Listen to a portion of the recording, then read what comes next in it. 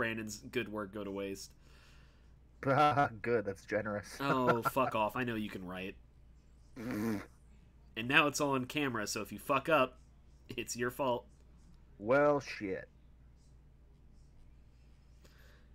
Well, we're here with Theros. Uh, we're this is going to be a less of a session one and more of like a session 0.5 or 0.2 whatever the fuck brandon wants to keep calling it you know the kingdom hearts-esque method of naming things Depends how far we get. yeah we were all very excited about theros and brandon was like i'll i'll run theros yar and so we're running theros and uh he's adapted an older adventure for us or like a new adventure off of dm's guild i'm not sure which um, it's new. it's new. Okay, cool. Um, yeah, and we're we took so long to get our character concepts in that most of us are only finishing our sheets today. So, I mean, let's see here. So, Isaac, you are playing trailing off on purpose. Make, make me go last. I'm picking a feat. Okay, cool. well, I'm playing uh, Gallus of Akros. I'm playing basically a Spartan warrior. Um, human fighter, gonna be a battle master. He's lawful neutral, uh, soldier background, fun stuff. Uh, he kicks so much ass in a fight uh, that whenever he was basically supposed to die, uh, the god of victory, uh, I think is how it's supposed to be pronounced, um, blessed him and like healed his wounds, and now his wounds are really, really. Uh, they're not keen on undoing the god's work, so he just heals from wounds extraordinarily fast. And Josh, One second. see, what, I'm the only one who fucking did. Okay. Uh, yeah. No, I've got everything ready to go. I just had to. I there was beeps going on, and I'm updating. Okay, we're ready to go. Uh, so I'm playing Mungark Thunder Fury. Uh, he's a. Minotaur barbarian, and uh, Mungark uh, is from a small village uh, outside of like the polis run by the the Minotaurs. Um, and he was his village was attacked by a um by a hydra. He managed to hold the hydra off and actually ended up defeating it but at the cost of his own life. Um luckily for him Mogis was watching and was so pleased with the fight and the slaughter and the blood and everything that he decided to r- bring Mungark back from uh, the edge of death uh as one of his own champions. God damn it. Yes so the the really funny thing is that Mogis is the twin god of Iroas, and they're both gods of war, but one of them is like, you know, Iroas is like, I'm the good guy, right? And Mogis is very much not the bad guy, or very much not the good guy. He's uh, uh the Lord of Blood and Slaughter. So we are not we are not good. Uh, we're not a good boy. Um, and so we'll see how that plays out. Uh, yeah, us being like polar opposites on the fucking story. we're the Oh, boy. same but different. That's okay. You're all heroes, and fate tends to lump them together, whether they like it or not. Hey. Did we did we settle on one? Yeah, no, I'm good. Well, tell us about uh, your your moist boy. All right. Please don't I say am- that. I'm playing uh, Klonos Gilgarain. Uh, he is going to be a Triton Paladin um, from the underwater city of Ossolor. I posted that in the group chat so you have spelling. Got it. Uh, but, um, basically, he is on. Uh, he is a steward for the king of Ossolor uh, that has been tasked. Uh, that has been tasked uh, for to basically go to the the above world because they have the well the surface uh, because the city of Ossolor has remained uh, wildly wildly secret not necessarily secret but secluded that's the word i'm looking for Right. secluded and so basically the the new king of Ossolor has decided that they need to put out some feelers and to determine whether or not incorporating and um, mingling with the the rest of the world is worthwhile. So he has uh, tasked a select few Triton uh, stewards from the city to um, observe the, the surface world. Nice. Um, Rad, and I will be taking the role of all of the gods Yeah. because I am finally going to DM something here. Yeah. There's there's only like what 10, 15, 16, There's 17ish gods? 18? there's one for every double color combination and then one for every single combination. Well, it's- combination. Well, there's I- actually two for some of them. Uh, well, there, there's two for one of them. Sorry. Uh, I think so it's there's- 15 in the current canon. I shouldn't have like made a statement with a literal magic player in the gra- in the game. Well, all right. Now let me count because there's ten or five for the normal color pairs. There are ten color pair, uh, or five for the normal single colors, ten for the color pairing. So that's fifteen. There's one more that they introduced in the newest set. It's sixteen. That's my final answer. Uh, 17, but one of them was quickly slain. So yes, 16, correct. Back. The cacophony god of cities was quickly slain. Oh Um, yeah, I did. I'm not that deep. It's fine. Um, anyway, uh, one cool thing about the Theros, I- I'm assuming this is in the book and not like just something that Brandon like um, made up on the spot. What I wouldn't be surprised. Whatever.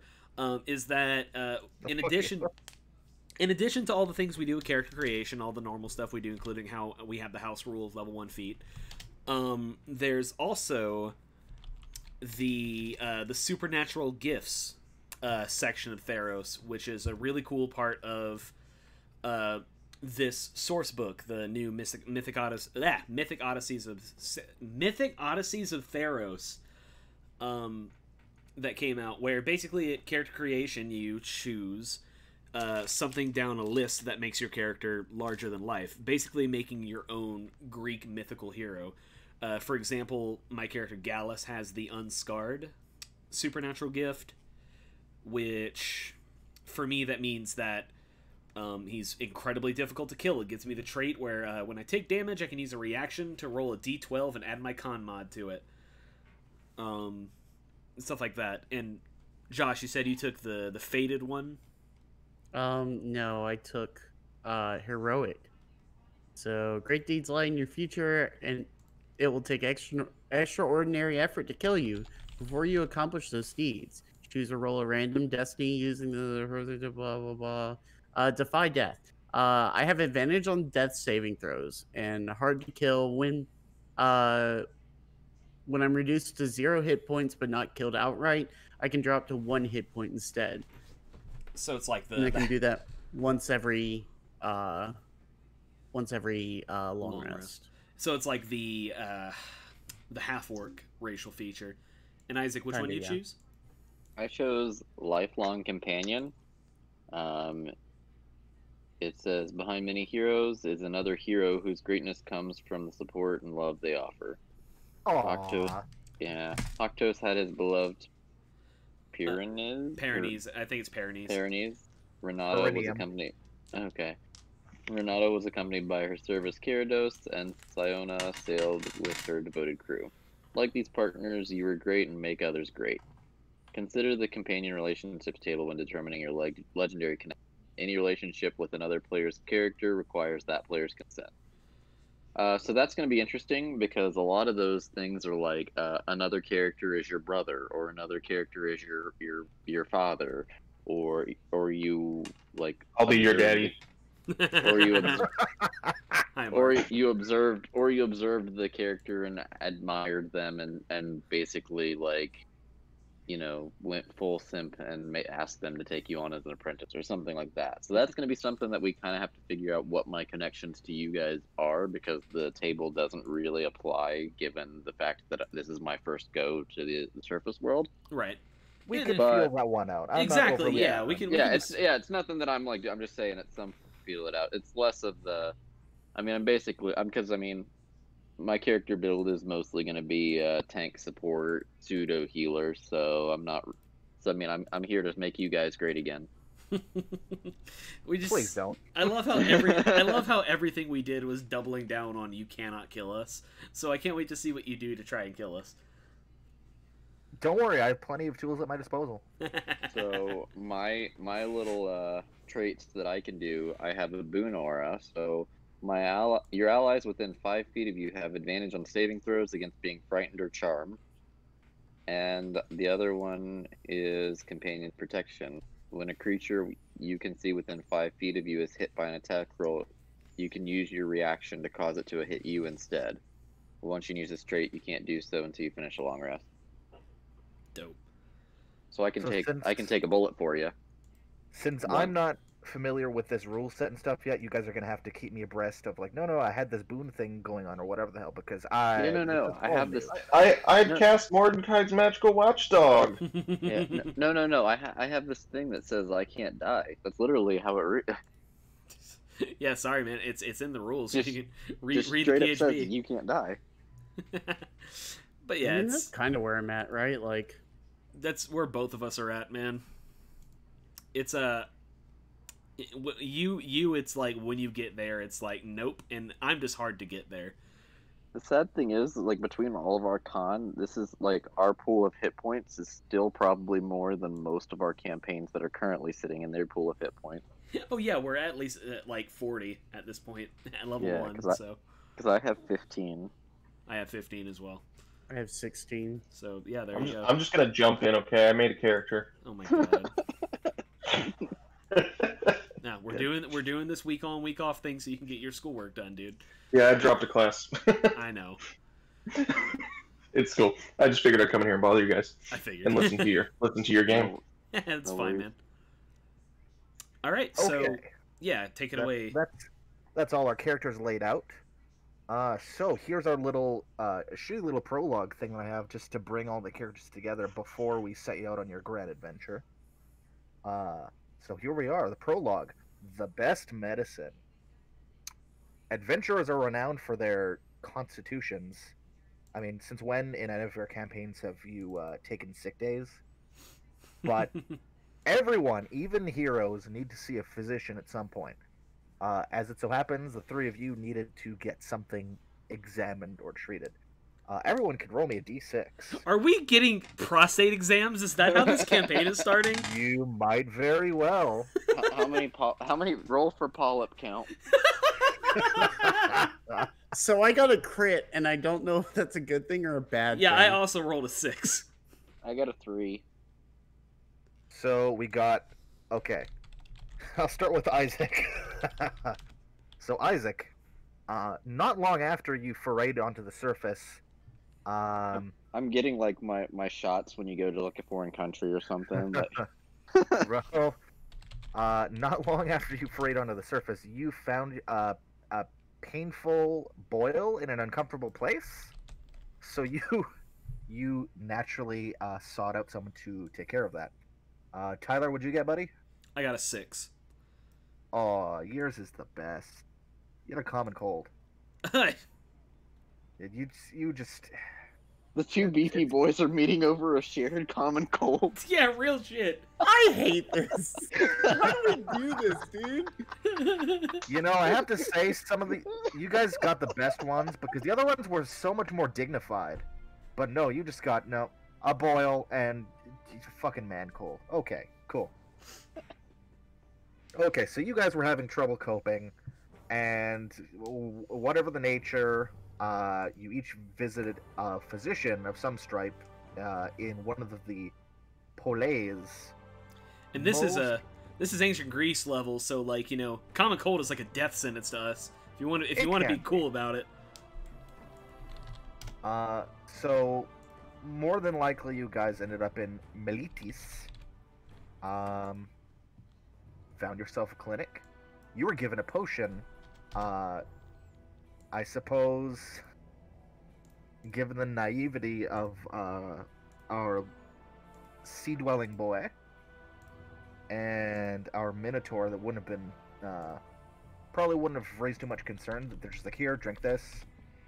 Um, if you wanted to question them further on it, they would say it's we, we just need to uh, dull the pain for this procedure. Regardless, uh, you made your choice poorly and you drank it, and everything went black. And you wake up in a cave. You were in a cave. All three of us are. All three of you are in a cave. It is dry. It's not damp or dank by any means. It's a dry, cool cave. Um, you're surrounded by iron bars. They're thin and they're, I mean, decently spaced apart. It's not like a super secure cage, but it, it's a fucking cage, okay? Um, nothing much in here. There is a wooden bowl on the floor of your uh, cage, and there's a crust of bread. Looking Ugh. around, there are about six other cages in here. Uh, most of them are unoccupied, save for. Yeah, there's a minotaur in here. There's a human, and there is a triton. And I'm assuming we do not have gear. No, you are stripped down to your undies unless you don't wear any. Do I still have the boil? Uh, to your surprise, whatever conditions it was that you guys had, they're gone. Whether they've been treated or not, that that they're ailing you no longer. nice. You guys go Oh, quick. I need to- Mungark isn't sure how he got here, but he is feeling a little peckish. Yeah, it's like all crust, the bread that's in front of you. Uh, I'm not sure Mungark the Minotaur cares about that. Sorry. This this sandwich is much, much less than I am used to. You surface dwellers have a very interesting taste in cuisine, and I eat it all. Ugh. That's talk about a rough night. Ugh. Well, I've got a headache, but that certainly beats having the damn cold. How long have we been in here? Uh, given that you were unconscious when you were brought in here, you couldn't say for an exact passage of time, but since you've been conscious, it's been maybe five or ten minutes. Hmm. So we're in these cages. Uh, how how those bars looking? They look thin. You couldn't say whether they're weak or strong, but they're thin, which is promising in and of itself. I would like to. Here's the here's the first one, two, three strength check. Yeah, I, I would like to. I would like to test them with my big old Spartan muscles. Oh Also- yeah, go for it. And by the way, if we're talking about wearing undies or not, my dude's like a fucking fantasy Spartan. Of course he's not. Um. So that is a fourteen on the strength. 14. Uh, you grunt and you sweat and you're struggling against the bars and you feel like they're shaking and you might be making some progress, but they don't bend to any respectable degree. Oh, move away, puny man. Watch how, watch how Mungark er, does it. And I Can't think believe- Mungark is going to take his own shot Go this for it. You're welcome. just You're welcome for loosening it up first. Oh, if I wasn't clear, uh, you're in separate uh, cages. Mungark rolled a twelve. Eh. Same deal. You try, it doesn't go so well. All right, fellows, let us let me take a shot. Go for it. Uh, so that's a nat twenty. The first roll of the game is a nat twenty. So twenty-two. Okay. Uh, the Triton, of all people, puts his hands together, just works some sweat into his palms, and grabs the bars of his cage and rips, and the bars give way. Um, you're able to pull them apart, and there's enough room that you could reasonably squeeze out of the cage here. I'm gonna go through and uh, and I'm gonna, I'm just yeah, I'm gonna go through be like, well, nice meeting you, gent. I'll I'll be on my way. Well, all right. Now hold on. Uh, we don't know exactly who uh, put us all in here. Sure you want to be doting off by yourself? Uh, from where I see it, we're all in prison. We all did something. I don't know what you did. You don't know what I did. We all could be bad people. I know. I can vouch for myself and myself alone. If we're still in Meletis, I haven't done anything to get thrown into a Meletian prison. Something else is That doesn't here. inspire much confidence. That you have to preface by you haven't done anything here. What can I say? We've all got story pasts. I'm sure you've done some stuff back in your home, wherever that is. What I did was righteously climbing the ranks to the one of the most respected advisors to the king? Yes, I've done some things. Well, we can be certain that this wasn't politically motivated if all of us are in here for the same reasons. Only one of us is a standout. You're obviously more the valuable type than uh, me and the Minotaur. He kind of nods at uh, what was his name again? Mungark. Mungark. I'm gonna change the names real quick, but fuck yeah. Watch what you say, little man. Mungark could get uh get his hands on you and you'll be sorry. Well, from where I see it, you aren't getting your hands on anything except those bars, friend. I've wrestled If Mungark- mid. I've If missed. Mungark, if Mungark wanted, he could actually reach for the bars, but as close as he could get would be to touch the bars of uh, of Gallus's cage. I've wrestled bigger things than you in the Iroan games. Uh, everyone, give me a perception check, please. Ooh.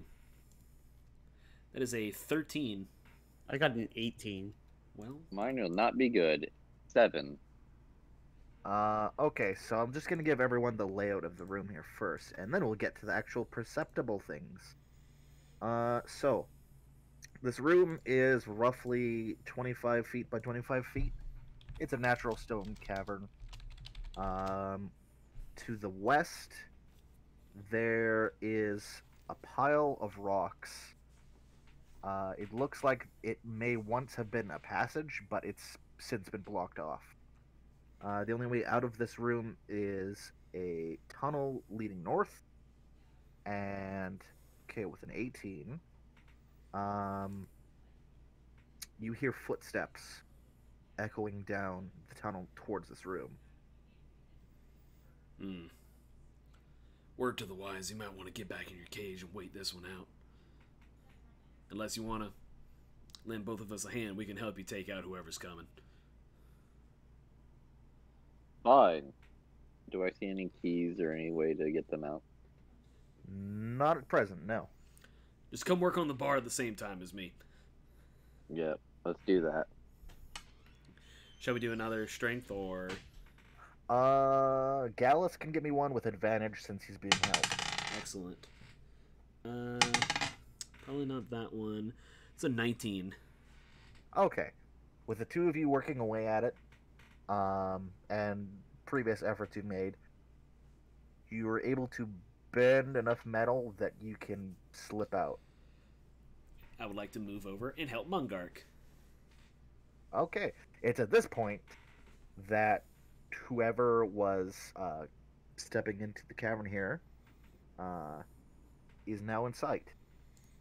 It's a scrawny looking man uh, with a terrible, almost tonsure haircut. Uh, he's basically wearing rags, but he's carrying a wooden bucket with a ladle. And he steps into the room, and he sees the two of you uh, working on Mungark's bars, and he freezes. Oh. Hello, friend. I believe there's been a misunderstanding. I'm gonna grab him. Uh, yes, a very big misunderstanding. Make me an athletics roll. Don't mind if I do.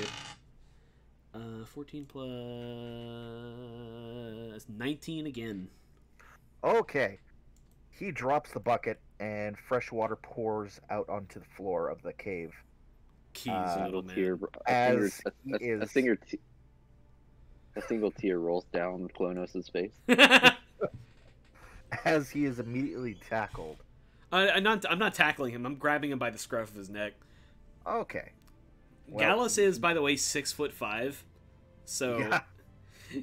like lifting him off the ground if possible, and just be like, "Keys, little man, keys and answers." Oh, he's scrawny, so he's easily wrenched up off the ground.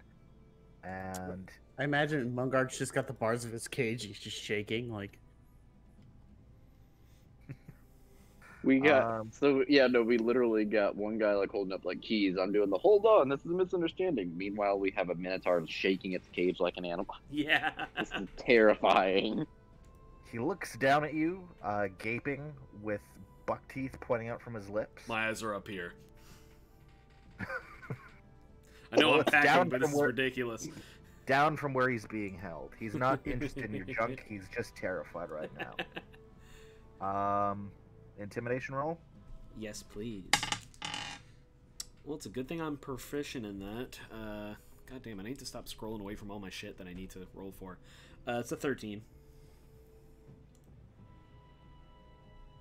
Uh, so there's a ring with keys on it jangling uh, at his waist on a rope belt. And yet, even though you're six foot five and you've got him by the scruff of the neck, he shakes his head and says, "I, I, I can't. I, uh, I, I, he wouldn't like that." And it's clear that he's as intimidating as you are. He's more afraid of someone else. Interesting. Well, what's he gonna do? I'm gonna yoink his keys. Uh, easily done. We're gonna go help uh, Mungark. Are you putting the boy down? Can I can I hold him up with one hand and manipulate the keys with the other hand? Yes, yes, you can. Uh, Mungark, the door to your cell swings open easily. Looks like they put you in the stoutest, the sturdiest one. Ooh, it makes sense. All should fear the Mungark. Five guesses Little what man. man. your name is. A- answer answer me some questions, little man. Answer me these questions three. okay, okay. Um, uh, the little man will continue shaking, uh, but he doesn't shake his head. He seems like he might be willing to listen. All right. Uh, where are we?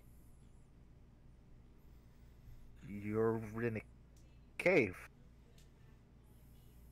All right. I guess. And he like fake pulls out like a note, a little notepad, and put single cave on surface world. He And he takes out, says it just like that. he takes out a notepad. Where was he keeping it? Well, no, he's just writing on his hand, like he's being Okay. very sarcastic. Like he just, yeah, he's just imaginary. Like you know. All right, friend. One more time. Where are we? Okay, You're under, under, under the city. Hmm. What exactly is Mungark doing under the city? I, I don't know. I was just bringing you water. I don't know what it is that they do here. Well, it seems that we're tapped out for answers down here. Might as well try elsewhere. Just put him It's- down. I wouldn't even need. To, I wouldn't even need you to make an insight roll to know that he's very clearly not letting on as much as he could. He's clearly afraid of what might happen if he's forthcoming with everything. Uh, so another question. Uh, I'm not super accustomed to uh walking so scantily. Where would our belongings be? I, okay, I'm gonna give you guys this one because he's. You haven't beaten him yet, so I was gonna say, this is this is the early on part Best where we case. decide we decide whether we're evil or not. yeah, this is the best case scenario for this dude, and he better know it. there.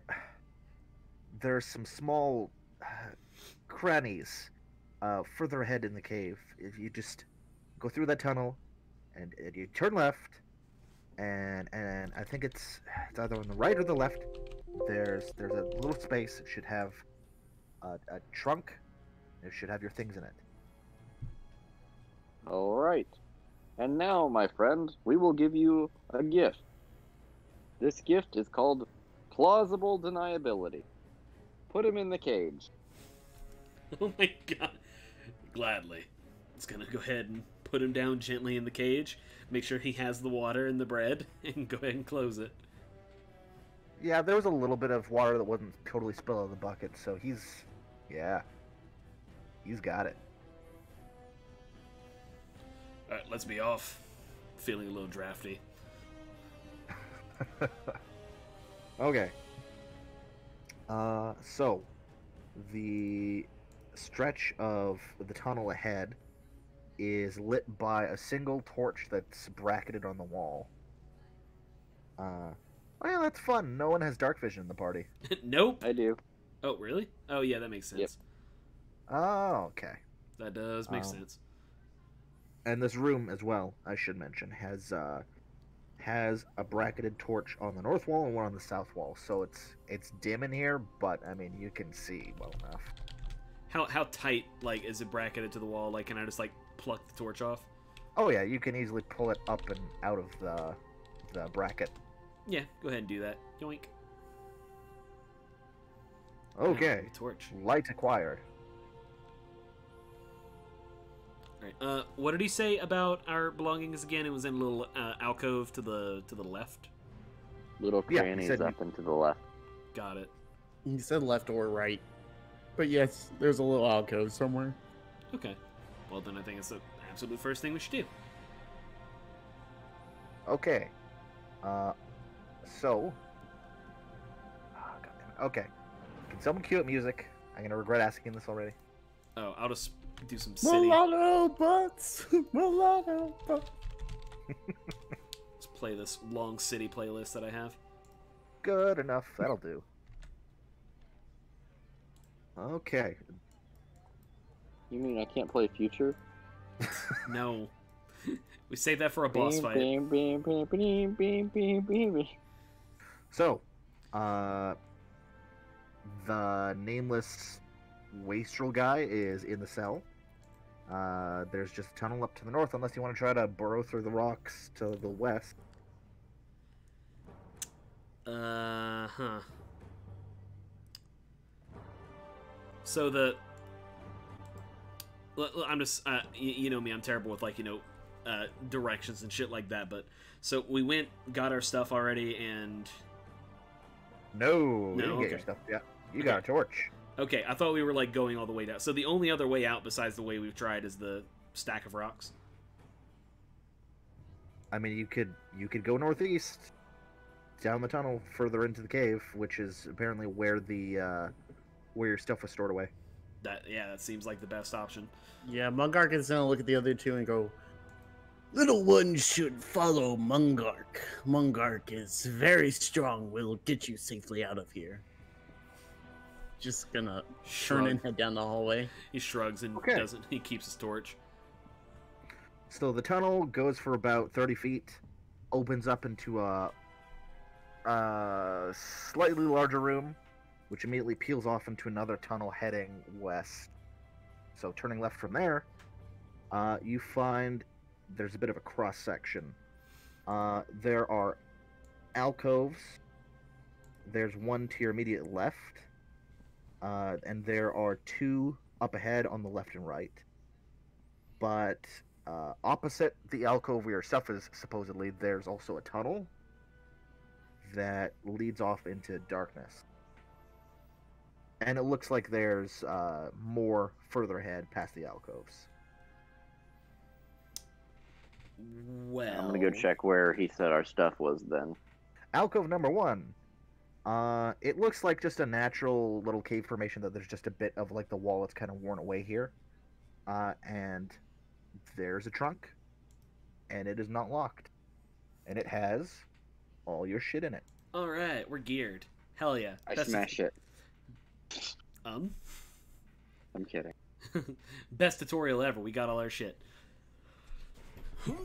Goodness, I'm gonna don his. it- It's it's chainmail in text, but I'm sure it's like some kind of like Spartan bullshit. It was like you know muscle the muscle plate things or whatever. Yeah, Mungark reaches down and grabs his battle axe. Oh yeah, that's right. Unarmored uh unarmored armor. Ar- unarmored defense. Wow, way to fucking go, Tyler. Unarmored armor. Uh, Yeah, it's clear to you, given how accessible this is, that either you've been severely underestimated, and or whoever's behind all this is very new to this sort of thing. so it's it's kind of like yeah they, hmm. Or both. Well, something tells me they didn't look at the size of my muscles or the size of his, and he jerks a finger at Mungark before they locked us up. Mungark would find the ones that locked us up here and send them to speak with Mogis. Yeah, for once I agree with you. And, like swing his trident around a little bit and just like, we might as well go make them answer for it. So, there's two alcoves just up ahead a couple feet that just kind of peeking around the corner looks like they have crates in them. Uh, then there's uh, the dark tunnel to the north, and then it looks like this tunnel continues off to the west. I think we should check the other alcoves first, Okay, and then go down the tunnel. So walking ahead just a few feet, yep, there are two more alcoves, uh, very similar in size and shape to the one that your stuff was in. Uh, they have crates, which are. Is this Dragon Age music? It might be. Ah, nice. Uh, anyway, uh, crates, sealed crates. Well, in classic video game style, Mungark, do you want to break? Mungark will oblige, and he'll he'll make an attack. That's the name of the episode now, by I the way. guess. Mungark will oblige. Fuck yeah. That's a big word. Mungark's gonna use his uh Six letters. Mungark socially advanced in the... Mungark not appreciate your preconceptions of minotaurs. Yeah, you can just give me an attack roll just to see how quickly and efficiently this is done. It Well, won't be hard. It's just a matter of how clean is it done. well, I got a Mungark fi- twelve, so Mungark find your statements shallow and pedantic. sorry, sorry. So it'll it'll take a couple whacks with your axe, uh, but you you chop open the crate. Um, Whoa there, buddy. Down, killer. Well, hold on, there might be something nice in the box. Mungark snorts. Uh, there's straw first of all, just packing straw. Uh, and it looks like there's something carved from marble inside the crate. Uh, on further inspection, it is a carving. Uh, it's it's just gaudy art, is what it is. What is it depicting?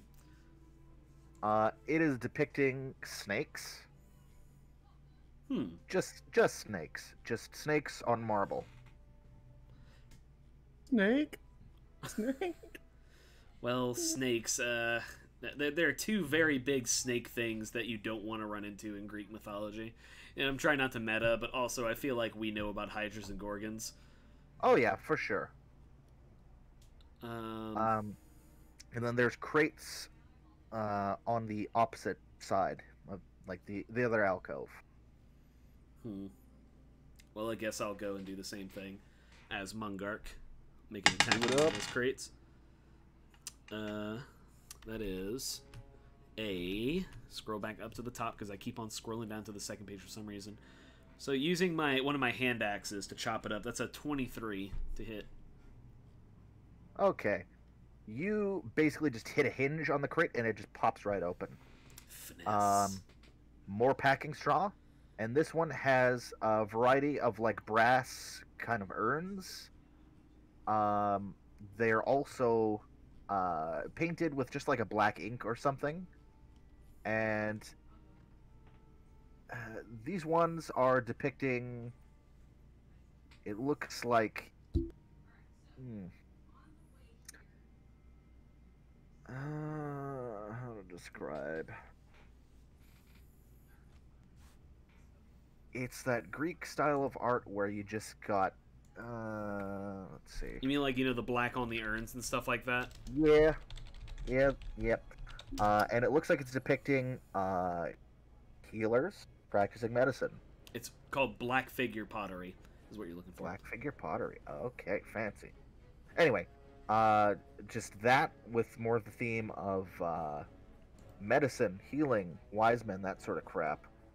Uh, so in total, between the two sets of crates, you have a collection of uh, marble carvings and a collection of brass urns, uh, each worth 25 gold each. I was about to say we're not taking these things, but man, fuck. Um, there's nothing but a bunch of decorations down here. Almost makes you wonder if we're in someone's basement. this is just where they put all their nice little things while the in-laws are visiting. Hmm. It's a very countrified Spartan voice you got going on I'm there. trying not to do it. It's I'm, I'm fresh off of being those Duergar, you see. Uh, yeah, fair, fair, fair.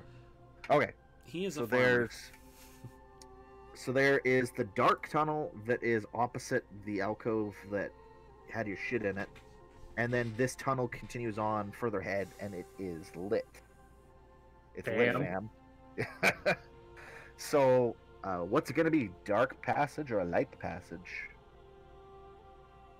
My vote just for getting out of here and like figuring out what's going on. I feel like light is the better way to go, but I'm open to suggestions. Yeah. No. That way looks like it. Nope, not Sinner, sorry. That way looks like it leads to the light. Let's go that way, friends. Mungark just snorts and walks that way. You're you're gonna have Okay. to like work on your snort sound effect because I like- expect. no, it's a horse. Yeah. Suddenly you're a centaur. Yeah, let's Damn. let's go down the, the light hallway. okay what is everyone's passive perception Thirteen. Um, that's a great question. Mine is ten. 13. 13. Two thirteens and a ten. Okay. Uh, fortunately, because you have someone with dark vision, uh, a 13 will be good enough for uh, Klonos. Um, while the Minotaur and the human don't seem to notice, uh, this tunnel is a T section of sorts. Like it, the way you were traveling, it curved a bit, so it might be easy to miss for those without dark vision but it also turns off to the left in addition to turning off to the right. Uh, the left does not appear lit. The right is. Ah, there, there's another path, that just, just up that way. But I, I say we continue on the lit, the lit path. This conflicts between my desperate desire to uh, go to the right first thing in dungeons, um, versus yes, we're proceeding past the light uh, path. But yeah, that makes sense. I say we go down the light path. Oh yeah. Okay. Uh, you proceed about 10 more feet when you can see uh, to your immediate left there is just a short passageway and there is a separate cavern room that has light and noise coming from it. And. Huh, okay. Um. Nothing is happening as of yet. What But- kind of noise? Like, room peop- looks people- looks like, looks like, people it's noises or cave Yes. noises? people noises. It looks like it's furnished. You don't see anyone immediately inside yet, unless you were to maybe step closer. But you can hear talking. Hmm. I step in. Yeah, I was about to say, well, like we could try to be stealthy, but like let's yeah, look at let, let's, or let's all look at our wearing t- chain armor. Yeah, we're all wearing Yeah. like at least chain armor, or we're a minotaur. Like, let's just look at our team comp and ask ourselves: Do we really want to try to be stealthy, or we just want to say "fuck it" and be heroes? I step I, in. I need to make some music playlists because this doesn't quite fit with the vibe. It's okay. You Um, need fight music? I got you for fight music, but Oh no, I, I got I got some stuff in reserve here, but cool. And uh, I'll step in and be like, "Hello, friends. Uh, I'm wondering if you could direct me to the surface." so you step into the room, Uh, there's some modest furnishings in here. There's a couple wooden tables. There's some candlesticks with light going. Uh, there's plain-looking bunks and chairs. And on a couple of the bunks, there's a total of four guys just kind of sitting around. Um, whatever the hell they were talking about, you have their attention now. Uh, they're wearing. Let's see, what are they wearing? They're Man. wearing kind of a hodgepodge of leather armor, uh, and a couple of them are wearing masks.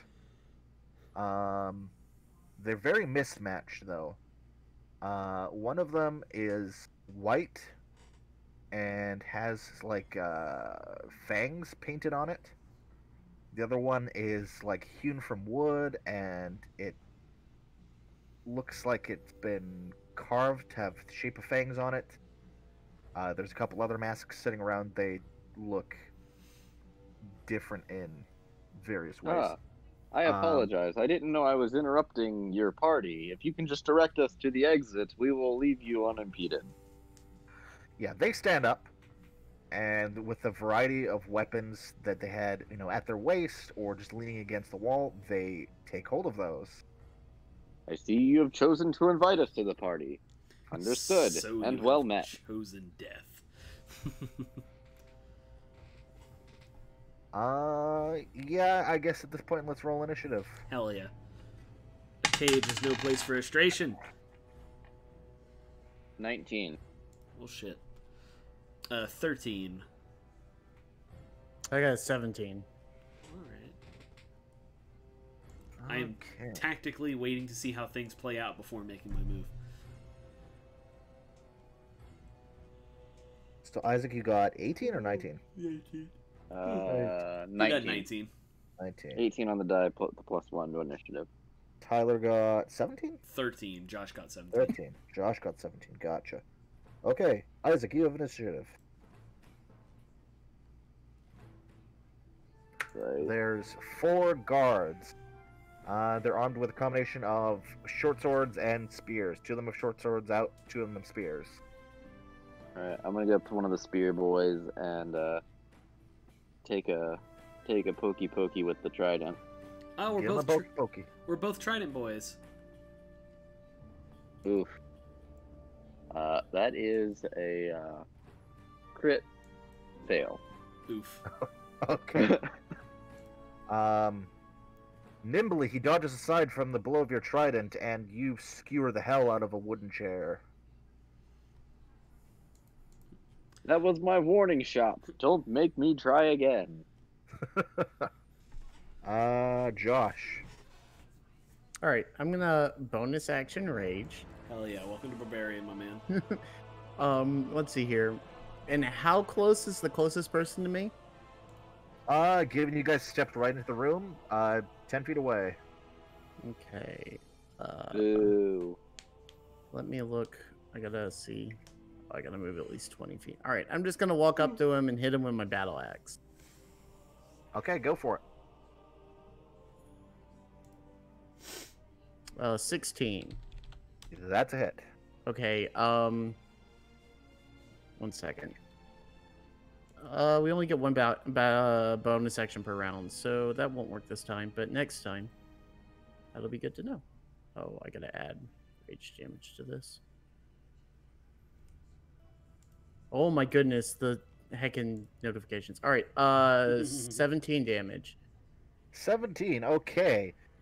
You cut him at the waist, and he cries out and falls over, and he's gone. Heck yeah. Uh, yeah. I guess that's my turn. Okay, it is their turn. Uh, let's see. I think two of them are gonna go for the Minotaur here, and one of them is gonna go for the human. Bring it, punk.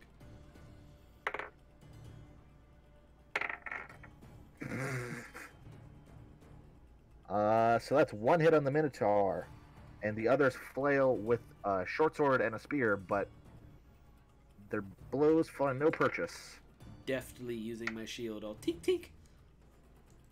Two damage to Josh as uh, a short sword kind of glances off your shoulder. Is that what they rolled? Yeah, they didn't. They didn't roll very good. Goodness.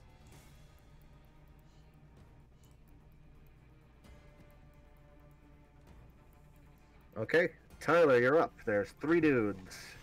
All right. Well, he Minotaur just cut one guy in half, and the and Klonos has a spear boy um, occupied. I would like to stride up to one of the unoccupied people and attack him with my Go for it. trident. And that right there is a twenty non-natural, a flaccid twenty, if you would. Uh, yeah, that hits. All right. Uh, that's seven piercing damage. Strike with my trident and just shoink. He looks very badly hurt, but he is still standing. Eight hit points. Got it. Kidding. Isaac. One of the guys you're occupied with is badly injured, and his buddy is still doing fine though. Okay. Man, there's I'm some gonna- short ass music. I'll pull out my trident out of that chair and uh, pokey poke again. Go for it. That is a 15. That'll hit. And let me get a good d6. I like that one. It? That will be five, five damage. Five damage. Okay, he is injured, but still up. Be my turn. Okay, Josh. Oh heck. Uh, I guess I will turn to the next person and make a battle axe attack. Fuck him up. I got a twenty-five. Yeah, that'll hit. Uh, eight damage. And let me see. Uh, I'm gonna use my hammering horns as well. Um, which means I'll attempt to shove my target with my horns. Um, Incidentally, was it the one that was already injured or the uninjured, uninjured one? uh, the uninjured one, I guess. That's eight. Uh, and they need to make a strength saving throw of eight plus my proficiency bonus. My ten. They have to make it uh fifteen. Uh, he fails. Okay. Well, he is pushed away from me by how much, you might ask? Um, push ten feet away. Okay. Um, he will be knocked into a table ten feet away. Uh, and he is struggling to maintain his balance because he is badly injured. Uh, it is their turn. Uh, okay. More attacks. Uh, the one who was knocked into the table, he's gonna rush back at the Minotaur. Uh. Okay. Uh, what's your AC? Uh, Seven. Josh? Seventeen. Yes, seventeen. That is a miss. His short sword looks like it's gonna close on you, but you just take a step back and it falls short. Um, one on Isaac, not even close. One on Tyler. No. Okay, Tyler, you're up. Alrighty. The guy that I skewered earlier, let's just go ahead and finish the job and turn him into a kebab. I don't think a nat 1 is gonna hit, so, you know, Gallus is rusty. Yeah, he swings his weapon. It deflects your blow into the floor. Isaac. Right. Same thing. Do that level one. Do that level 1 all fighters, just all melee characters. 17. That will surely hit. Fuck him up. Another 5 damage. Yeah, he drops. After you put another hole in him, he's done. He's on the floor bleeding out. Josh, Yeah. That human is bleeding like a stuck pig, but he's still alive. What are you gonna do about it? I'm gonna I'm gonna whack him again, obviously. Whack him. Whack. Oh, I got a nine. Oh my god. Don't whack him like that. That's no good. God. Wow, we suck. I love this. Okay, we got a boy going for the Minotaur and a boy going for the boy. We just stand there and skip our turns and see how long it takes them to hit us. Come on, give it your best shot. This is like when you're. Or- I'll, I'll give you a free one. Keep I've cutlass. fought mud Nope. crabs more fearsome than you. this is Try like again, son. this is like when you're like playing Fire Emblem and like you have two axe users in the forest taking swings at each other, but they only have like 15% chance to hit, so they just keep on missing each other no matter what. It do be like that. They're getting pretty close, but no, no. Uh, Tyler, your turn. All right, you know what it is, bitch. Uh, don't have any reason. It's a fucking. It's a 12. That will unfortunately be a miss. We joke about this, but this is how a party of mine almost died to a group of alligators. So uh, we gotta figure this out quick. well, um, here's the thing. You know what my actions are? Uh, attack, be, bu- be beefy. I figured you'd stop at attack, so that's more than I thought you had. I have attack and heal self. Klonos, Right. fuck him up, please. I poke him. Poke him. I want to see how. I want to know how long we can fucking keep this shit going. This is awesome. Mungark, please. Uh, okay. Oh, I got 19 this time. Oh god, Okay. thank you. Yeah, it's gonna deal tw- 12 damage. I imagine Mungark just like two hands his axe like straight up and just brings it straight down on the guy. Yeah, yeah, split his head. Uh, the remaining human will drop his spear and throw his hands up in the air. Trident at his neck. You're not even giving him a chance. You're just No, no, no, gonna- no, no, no, no, no, no, no. We're not stabbing him in his neck. We're putting the Okay. trident to his neck. Gotcha. Okay, he surrenders to you. Now that we had to break up your party, do you want to point us to the exit? Uh, he will actually point to a door uh, on the opposite side of the room. That that leads out of here. It's, we've been using it as a, a service entrance, you could say. Yes, uh, bringing goods in through wagons. Um, you you you're free to go. City entrance for what? What is this place? He hesitates for a second, but then he looks down at the floor with his uh, very dead comrades. Good thinking. he will hastily chime in. Uh, there, uh, this is, I suppose you could say, a cult. Uh, Pharika, they, they, they worship Pharika. Uh, they've been uh, taking people. Uh, you're, you're the first people they've been taking, I should say. Um, they were just sacrificing, you know, pigs, sheep, that sort of thing. Um, but now, people. Uh, he shrugs. I, I, I, I just. I'm, I'm hired help Mungark is gonna, been protecting. yeah. I think Mungark's just gonna spit a giant loogie on the floor and be like, "Oh, snake people. Mungark hates snake people." Hmm. Worshipping the god of affliction. How very, very lovely. And how Yes. deep in are you, boy? I deep it. I've, I've just been keeping watch over this place, that helping bring goods in. I, I haven't killed anyone. Hmm. Uh. Can I throw an insight on this lad? Go for it. Yeet. An 18. This guy's just a dumb thug. They, they probably hired him off the streets to just be muscled, and it doesn't sound like he's lying. You know, maybe he's had a violent past, but when he says he hasn't killed anyone for these guys, he, he hasn't killed anyone yet. Might have killed you guys given the chance, but he hasn't killed Yeah. anyone, apparently. Yeah, there's no honor in slaying you. Go and find some different, more honest work. Yeah. Lower the uh, lower the trident. Thank you, thank you. And he will turn, and he's gonna go out the door that he indicated, unless anyone's gonna stop him. No. No? Okay. Uh, he's going to blast through a shoddy wooden door, and there's sunlight on the other side of it. Just like that, we're the most morally good party we've ever had in this group's history. Uh, Mungark is lawful evil, okay? Good shit. There was there was no reason to kill that man. If he had attempted to attack us again, he would have been forced to send him to the, uh, his lord. But I like.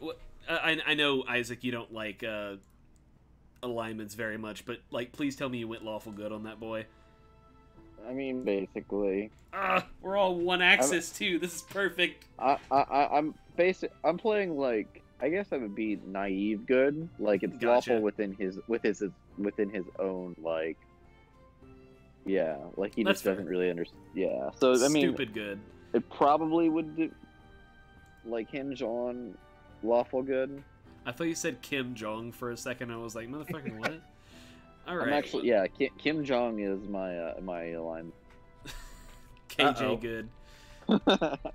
All right. Well, Okay. we see sunlight. let's let's hit it. I'm not gonna explore further. There was there were other passages, but you are more than welcome to just leave if you want to. I mean, like, look, I know it's the I know it's the gamey thing to like explore the dungeon and everything, but I don't know. Well, I'm I'm torn on it because my character would like he's literally like, this isn't what he was sent to do. yeah, I think Mungark is like, I mean, there's nothing here for him. And Like uh, Isaac knows, Isaac knows like we should explore and like figure shit out. well, But Klonos is Klonos has got a mission. I think um let me think here. Well, these four were just low armed guards. If we really want to pay back their hospitality, we should find whoever owns this place. My honor demands satisfaction. You're welcome to come with if you would like. To be perfectly clear, you guys are more than welcome to just get the fuck out. I'm just I'm just offering like a, a another perspective though, like because to be fair, we did just like fight some thugs. We didn't kill the people who kidnapped us or the people who were responsible for it. And none of the guys lying on the floor look like mastermind by any stretch. No, of course not. You may have a point. I don't necessarily blend very well. Uh, it might be best to cover our track. That's what I'm thinking. And besides, maybe there's some I money. don't blend well. Yeah, I don't blend well, and I'm still not the least inconspicuous in the group. yeah. Mogis will, or not Mogis, Mungark will. oh man, you can imagine? Uh, Mun- Mungark will look at the group and be like, "Well, Mungark has no uh, horse in this battle, but uh, more sacrifices of war to the to my god is always welcome." It seems we're in agreement then. Alright, Um, So, uh, there is, if you're stepping back through the door you came in through, well, do those uh, um, do those gentlemen have like any keys or way of like you know identification on them or anything? The guys that we left very bloody and dead on the floor. they have bloody and torn leather armor. Fantastic. They have the tunics underneath if you're going to strip them to their bare asses. No, no, no. I'm just, I'm just checking. just checking. they Corporate have ID short cards. Swords and spears, and they have nothing else. Corporate Okay. ID card. One of them had a bad hair day when he took his his his, his picture. All right. Well, yeah. Let's uh, let's let's scoot back in then. So, uh, from where you're standing, uh, that you haven't explored yet, there's the passage to the right that you hadn't initially noticed, but your uh, Triton companion had noticed. Um, if you wanted to backtrack, there was the dark, the super dark passage, and there's tunnel leading north, or to your left. Uh, I think we should try the dark passage. I have a torch, so me and Mungark can sing, can see. Okay. Uh, so you do a little bit of backtracking. Uh, back towards where the alcoves are. Uh, this tunnel is narrow. It's like you could go uh, two men wide.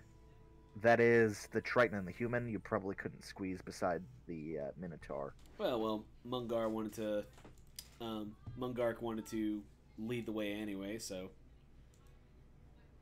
I Okay, say we well. let him. Well, Mungark, when you step uh, into this passage, it widens a bit into uh, almost a square-shaped room. And the first thing you notice about it is that the floor is moving. Oh, Yeah, and with the torchlight, it's easy enough to see that the floor is just just jamming with snakes. Snakes. Why did Mungark have to deal with snakes? I, I, I, I knew it, but like, Yeah. uh, um, so like, are they like, are they are they being douchebags about it, or like, are they just kind of slizzling around? They're just jamming around. They're just snakes. Yeah. Uh, in here, well, okay. Mungark is the one that leads. He's really the only one who can see much beyond, you know, the floors moving. Mhm. Uh, what he can see is that there's uh, cracks in the walls of this uh, this cave room, uh, through which you can see some glimmers of daylight. So it looks like the snakes kind of c- crawl in and out of here as they please. It's really just a space where the snakes have been chilling out. Um, in the northwest corner of the room, uh, it looks like there's a passage that goes back. It would loop around back to uh, the tunnel uh, that led north. And that's kind of all you can see from here. There's, there's snakes and more tunnel that loops around. Mungark's gonna take a step backwards and be like, on second thought, maybe we don't go through the tunnel full of dangerous animals that we cannot control.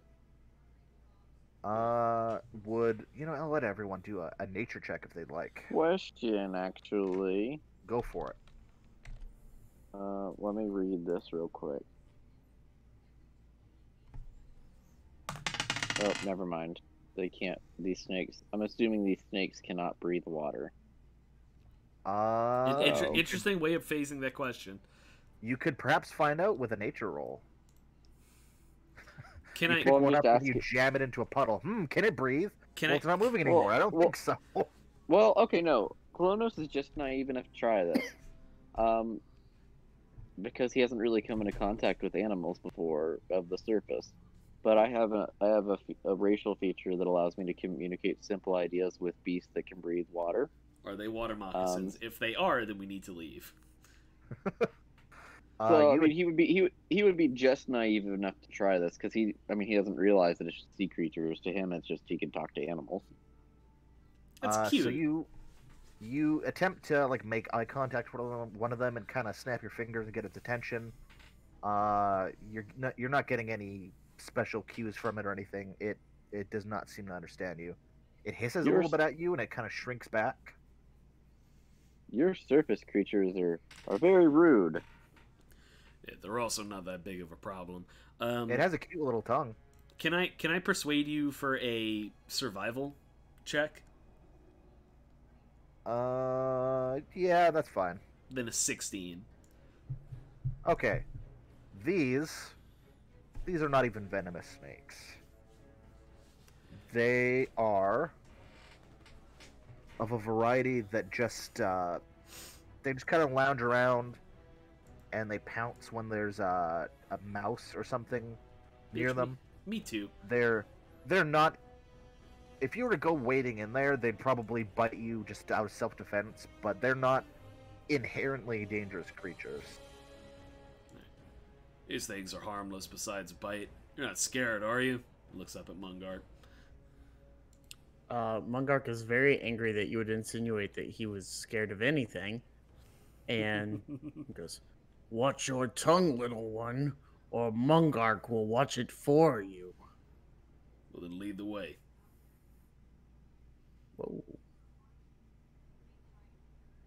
All right, Mungark's gonna walk into the room. Okay. Uh, you are holding the torch, yes? Uh, no. Uh, Gallus is, but he can pass it off like it's not a big deal. There were two torches. We honestly could have took one apiece.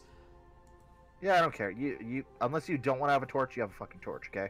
I mean, Cool. Mungark uses a two-handed weapon, so probably doesn't necessarily want to be holding a torch. Okay, yeah, he's he's got labyrinth sense anyway. He's a he's a minotaur. Um, Okay, I'm kidding. Mungark, even or odd? Odd. Okay, some snakes hiss at you, but they they are nipping at you. So they're definitely not the most vicious, but they're they're trying to keep their distance. But you're pressing a little close to them. Okay.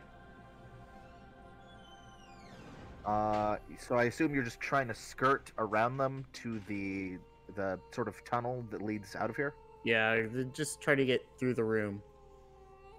Okay. Um, Gallus, roll me a d20. I would love to. Oh, oh, oh, oh, oh, okay, thank God. Uh, it's an 18. Okay, yeah. Uh, the snakes hiss at you guys, but it's especially especially from the torchlight, they seem to shy away from the party. I flex Um, at them. pretty much. Uh, and stepping into the tunnel that seems to loop back around, uh, there's a skeleton on the floor here, Hmm. and it seems to have a pack with it. Well, we might as well check the pack and see who, if we can get some clues about who they are. Uh, so it is a Dungeoneer's kit. Um, and there's nothing of note in it, other than you know it being a Dungeoneer's kit. Hmm. Well, seeing as I already have one of those. Like, wow, and the we have skeleton. The skeleton is aged enough that it would seem unlikely it has anything immediate to do with this whatever this cult may be, unless they've been here for like a long time. Hmm. So circumstantial at best. Well, then I guess we keep going. Okay, so you step into the tunnel and come out the other side, and you're basically in the same hallway as uh, as the entrance to the barracks and that. So all you have now is, are you gonna go north or are you gonna go south to the passage that uh, the Triton had noticed? Uh, I think the my vote's for the one that uh that Klonos noticed. Seems like it's the most uh, divergent from where we've gone. Sure. Okay. Um, Ooh. Mungark's still leading the way. Yeah. Cool.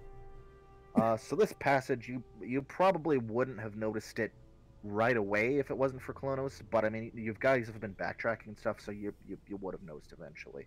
Hmm. Um, it's definitely not hidden by design. It's just this is clearly a natural uh, passageway in the cave. Uh, there are torch brackets uh, along the way every 10 feet or so, but torches have burnt out. They haven't been relit for.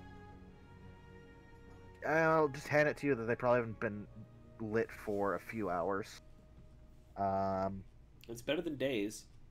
yeah. Yeah, no, I, I hate when that happens when you when you stop being lit. Uh, God. Oh, what are we gonna do with you? wind through this uh, this passageway for about 40 feet or so, and it opens into uh, another wider, more open cavern. Uh, the first thing you notice about it is that it has uh, kind of a crude wooden pen built up uh, off to one side. Um, the eastern wall, where uh, where it's kind of built up to, there's a rock fall uh, blocking what would seem to be passage. So it would seem this room is like directly opposite and might once have been connected to the the cave room where you guys had woken up. Um, and in this kind of crudely constructed pen, uh, you guys have torches and stuff, so it doesn't matter. So I will tell you that there is, first of all, a chest uh, and secondly, there's a number of large-ish scorpions kind of scuttling around in here. Well, this place sucks. Um. Well, wait. So, like, you know, scorpions. Yes. Um. What's like? they've got the pin and there's a collapsed in tunnel. And there's Uh, no, yes. and there's no other exits or entries or anything. Nope. Only thing of interest in here would appear to be the chest and the scorps. Are there like, is it like the snakes where they're just like covering the floor, or is it like, just that Uh, can't there are fewer of them. There's like six. Oh, but they're like good sized scorpions. They're not like normal scorpion size.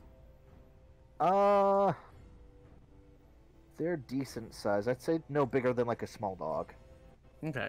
They don't look super especially dangerous, but you could make a nature check if you wanted. Yeah, think I might.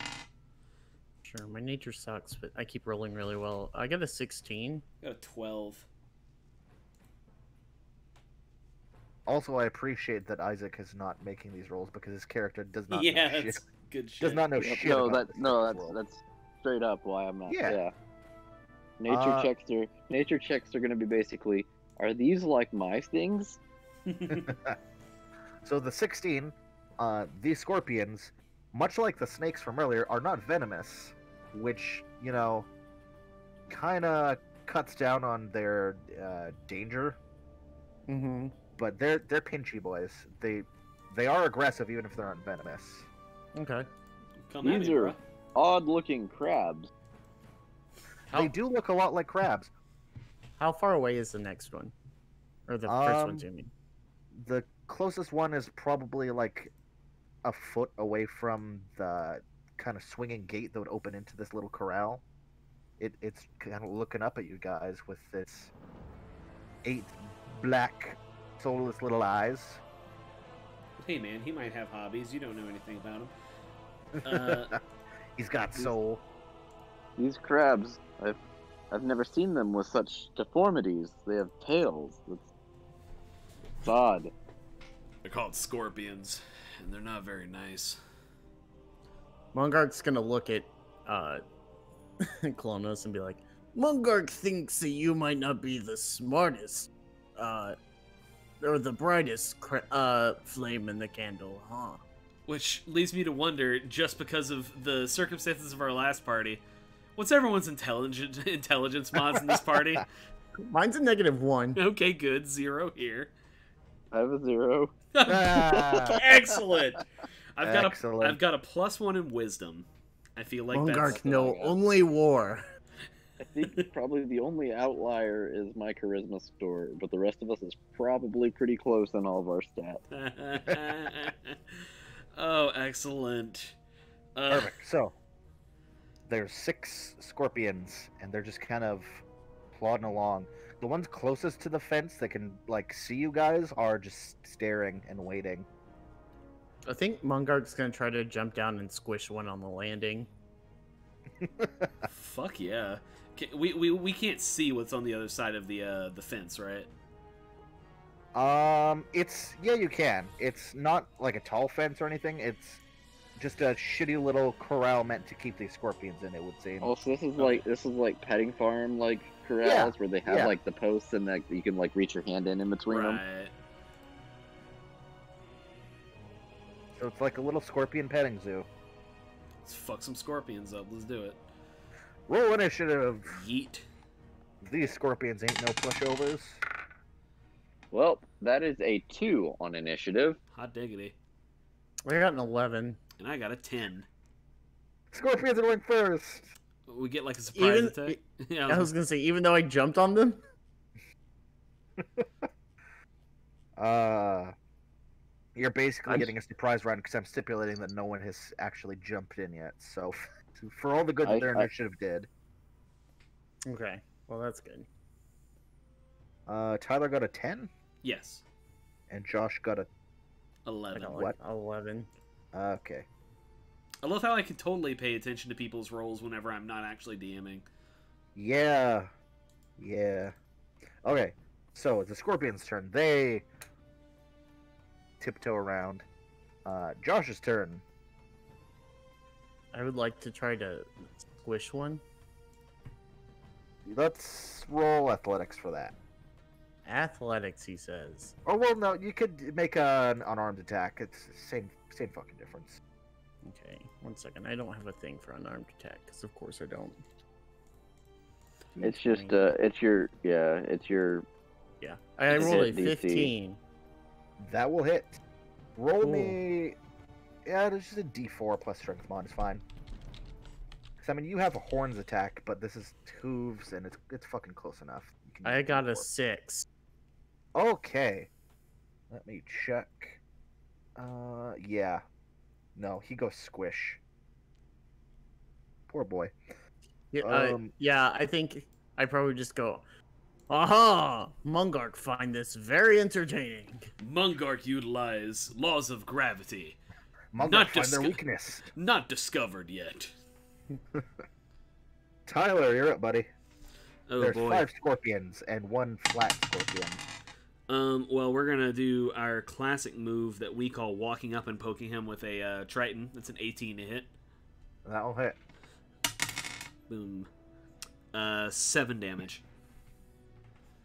You skewer him on the end of your trident, and his legs kind of curl in like those of a spider would, and his tail shakes around a bit, and he goes still. Oh yeah. Lift him up and then just flick him off. Well, that's rude. Uh, Isaac, there's four Scorpy boys. So remind me, like this is just a separate pin. Like there was no reason for us to get into it. Just they just just cause this is just their vendetta. It's. I Uh, think like there was more shit we could look at in the room, and we're just like, well, we can't do this without fucking. We can't do this with scorpions in here. There's Okay, a I, I, chest in the middle of the pen that the scorpions are gotcha. kind of. Okay, I was like, what's our motive for doing? Because if it's literally just like, It's just because Like, fuck scorpions. XP. If There's If- treasure in those Yeah, in their yeah, hills. if if Cowman jumps in pin and that's the only motivation, Fish Boy would be like, nah. But there's shit. There's treasure, maybe. Okay, then I jump in and I poke. Poke. Do it. Nineteen Boink. That definitely hits. for three damage. He goes squish. Now it's their turn, fuckos. Uh. Yeah, we're gonna. Tyler, what's your AC? 19. One of the scorpions viciously clacks its claws and scuttles towards you, and you step out of the way. I use my Um, shield, brah. It's a scorpion, Tyler. You don't need to use your shield. You just step out of the way. Whatever. I use my shield. I have like the whole thing going of like a Spartan warrior with a spear and a shield. That's the whole aesthetic I'm cultivating here. You're fighting scorpions, you fuck. You can step on them. You don't need to bring your shield down to protect yourself. Oh boy. The other two uh, lash out with their claws at the other boys, but they don't. They don't do shit. Uh, Mungark is having a lot of fun. go for it, Mungark. He's like, haha, beauty scorpions. Guess he's gonna roll another. We're just gonna, we're Yeah, just like gonna that. keep That stepping great. on him. He just like lays down and starts rolling around. Uh, yeah, that definitely hit. So I rolled it without my modifier and got a 17. So Okay, spoiler: you don't need to roll damage. He's dead. okay, yeah. All right, cool. Tyler. oh yeah. Well, you know what's up. We're gonna Hold do... on, non-lethal damage so we can interrogate. Non-lethal stomping. What do you work for? uh, it's a 16. That hit, and it swishes. Where's Rachel? Would you believe it? So you said you said it squishes, so I'm gonna roll with that. But if you wouldn't have said that, I rolled a one on damage. It would have been four damage. That's okay. It's still dead. Yay! so swear to God, swear to me. Isaac, please, please, please kill the last boy. Alright. One. R- really? Yeah. That's hilarious. How did Okay, you I roll a guess- one? Twenty-one. Oh, 20. Oh, oh! I thought you, you said cut one. out it. you think I you was like, said what? one? Yeah, no, twenty-one. Okay, that's different. That will hit. Yeah, you killed the. It's like, how do you roll a one? You should have modifiers at least. Yeah, no, I, I I'm a paladin that puts strength as his dumpster dumpster stat. Piece of shit. All right, okay, you kill the last scorpion. They're all dead. do a little victory pose, and then yeah. Um, Da, da, da, da, da, da. all right, let's uh, let's take a let's take a look at this chest here. It's a nice chest. Well, excellent. Will you attempt to open it? I mean, well, now now that you said it like that, Mungark will attempt to open. Yeah, we we will. Mungark summons his strength, and it pops open very easily. And it contains. Ooh! Uh, it contains. Five empty vials and four, count them four, potions of healing. Holy shit! Hey. That's one apiece. Well, So then I'll take two. yeah, I was gonna say you you can you can take two. I'm gonna just take one. I have built in. My my character's kind of built to like keep people alive. I took the healer feat, so like I'm built to keep people alive. Got you.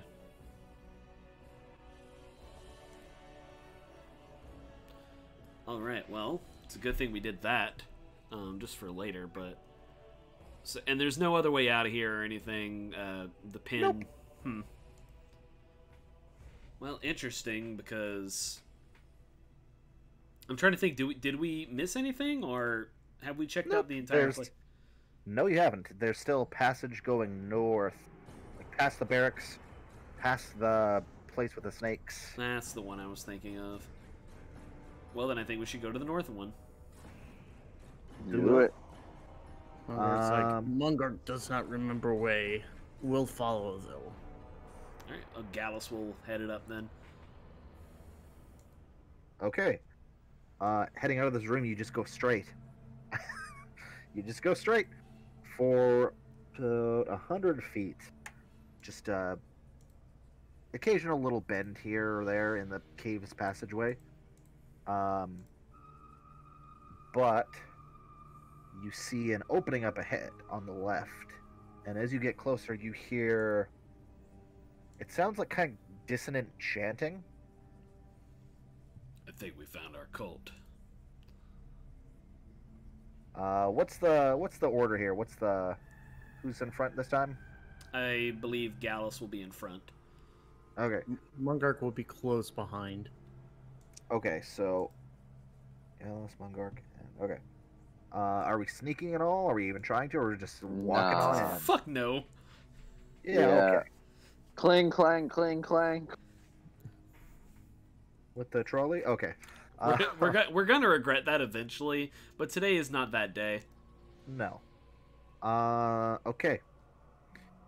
You step into a large natural cave chamber, much larger than the other ones.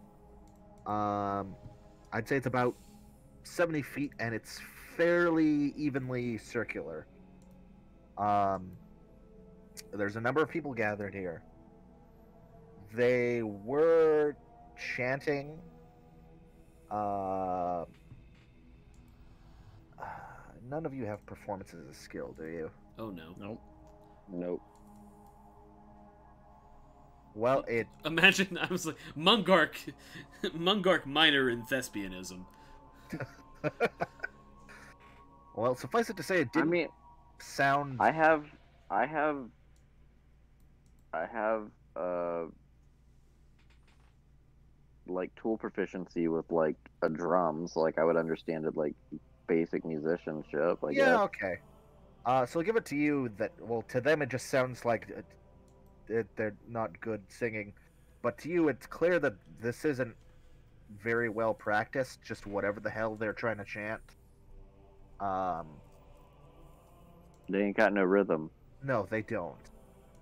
Uh, so there is twelve humanoids in what is the term?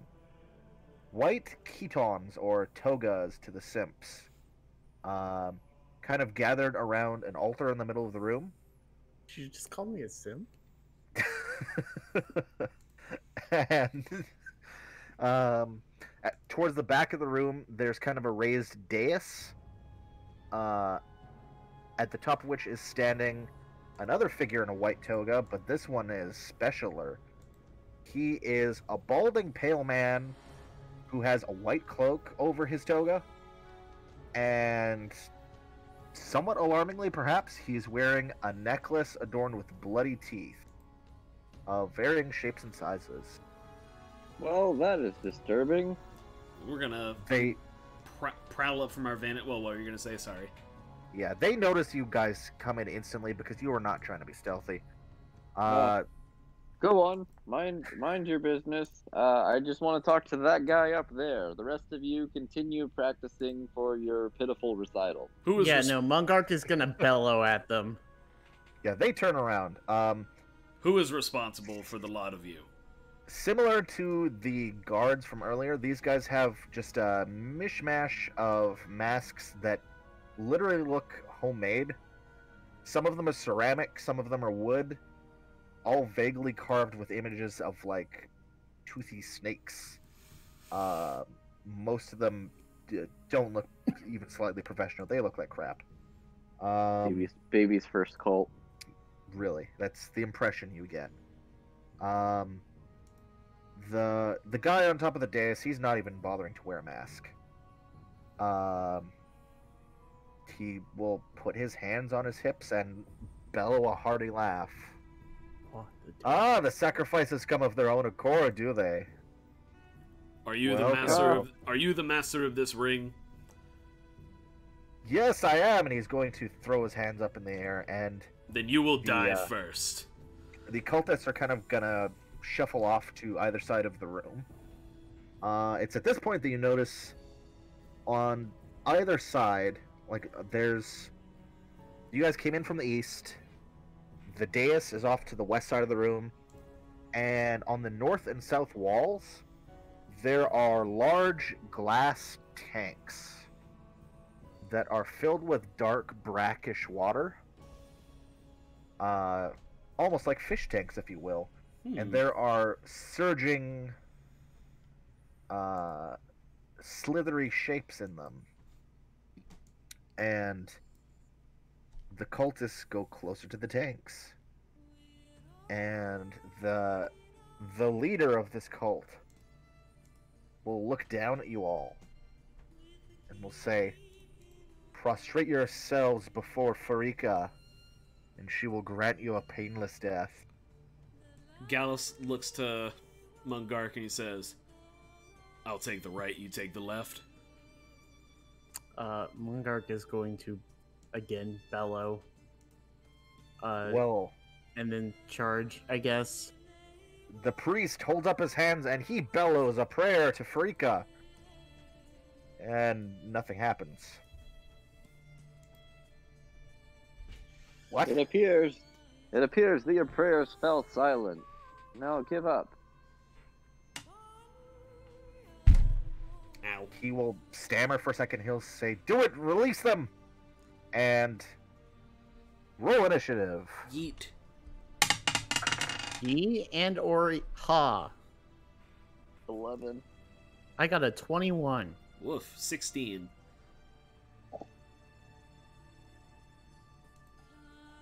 They didn't roll that well. Bitches. Uh, what did you get, Isaac? Eleven. 11.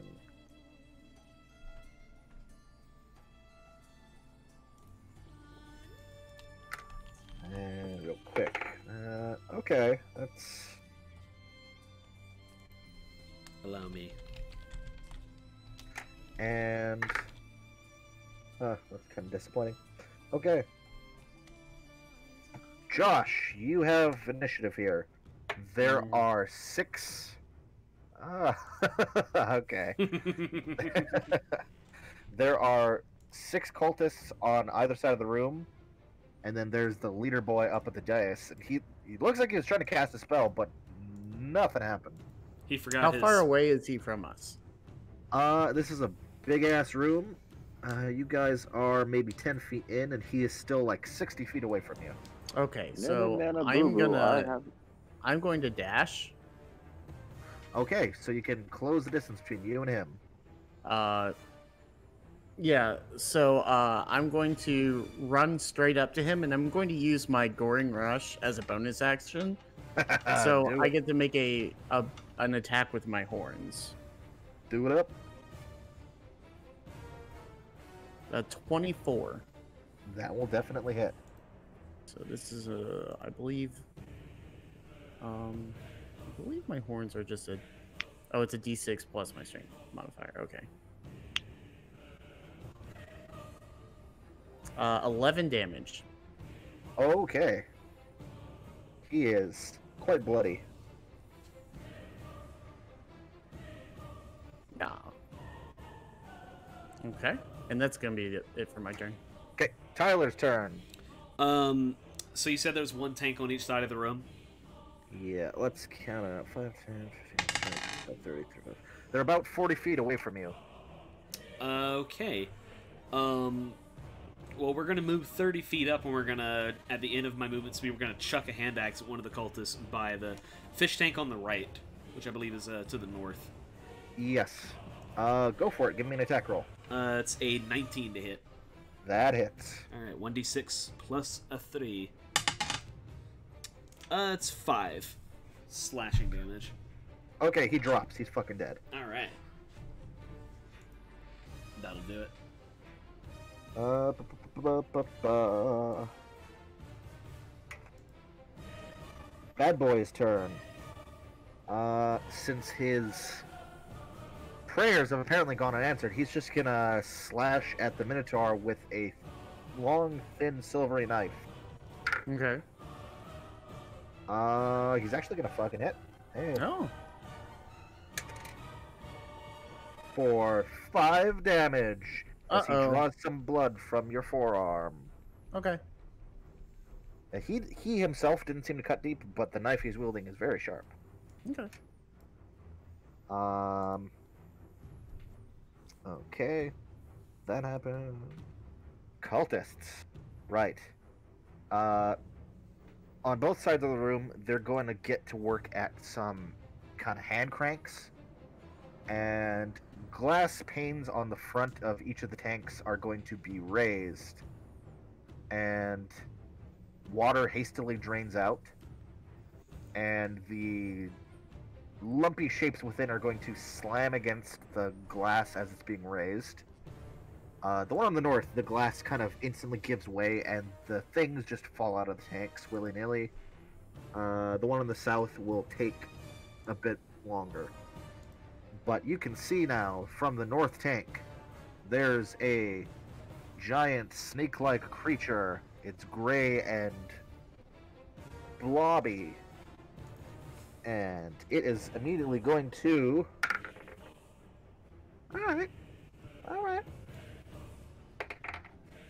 all right. Yeah, it rises up, and it has. It doesn't really have a face. It doesn't have any visible eyes, but it does have a mouth. Hmm.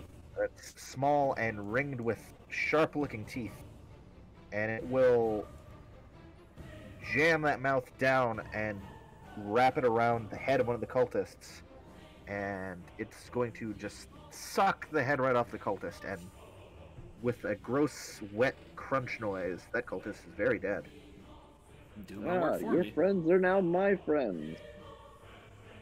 okay josh's turn Uh, we're gonna whack this cult leader. whack him You skipped me, by the way.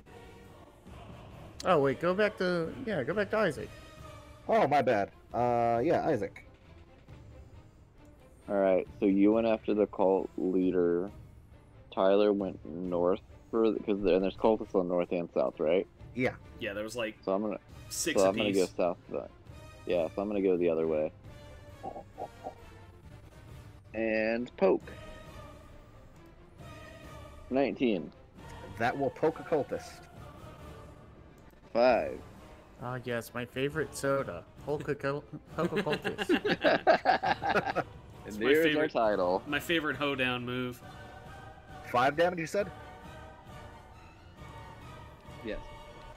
okay that is a dead cultist um and incidentally again that that uh that side is where the thing in the tank has not yet emerged but the one on the north side has Bring it, bitch. um Okay. So it's back up to Josh. All right, now I'll whack him. Whack him good. 23, That's a definitely hit. uh, 13 damage. He's on his last legs, clearly. He is Oh my goodness. by no means is this guy like a trained fighter. So when he's taken two a, a blow from your horns and a blow from your axe, he looks like he's gonna crumple very soon. Cool, cool, cool, cool. Uh Tyler's turn. Um, so these cultists are clearly not a huge threat, so Gallus is going to turn his attention to the creature that popped out of the tank and is going to stab at it with his trident. It's gray and wrinkly and large and fat and So am I in the morning, but that's not important. Um, 24. that is a hit. Alright. 1d6. Yeet. Alright, that's a 9 max damage. Nine damage as you slash into its body and it oozes fresh blood. Normal red blood? Yeah, normal red blood. Sick. Very, very human looking blood, in fact. Uh, bad boy's turn. He's gonna lunge at the Minotaur again with his knife. Uh, he'll hit again. Damn. Four Mhm. damage. We need to take this lucky knife. It's very sharp. Uh, Mungark's not looking so good. Well, it's a good thing we have no healers. Okay, do, now I'm not gonna skip over Isaac's turn this time. Uh, Isaac, your turn. I want to poke another guy. Poke a man. I'm having fun. 18. 18 damage. That's another dead cultist. It's 4 damage, but it's 18 to hit. That's fine. He's dead. That's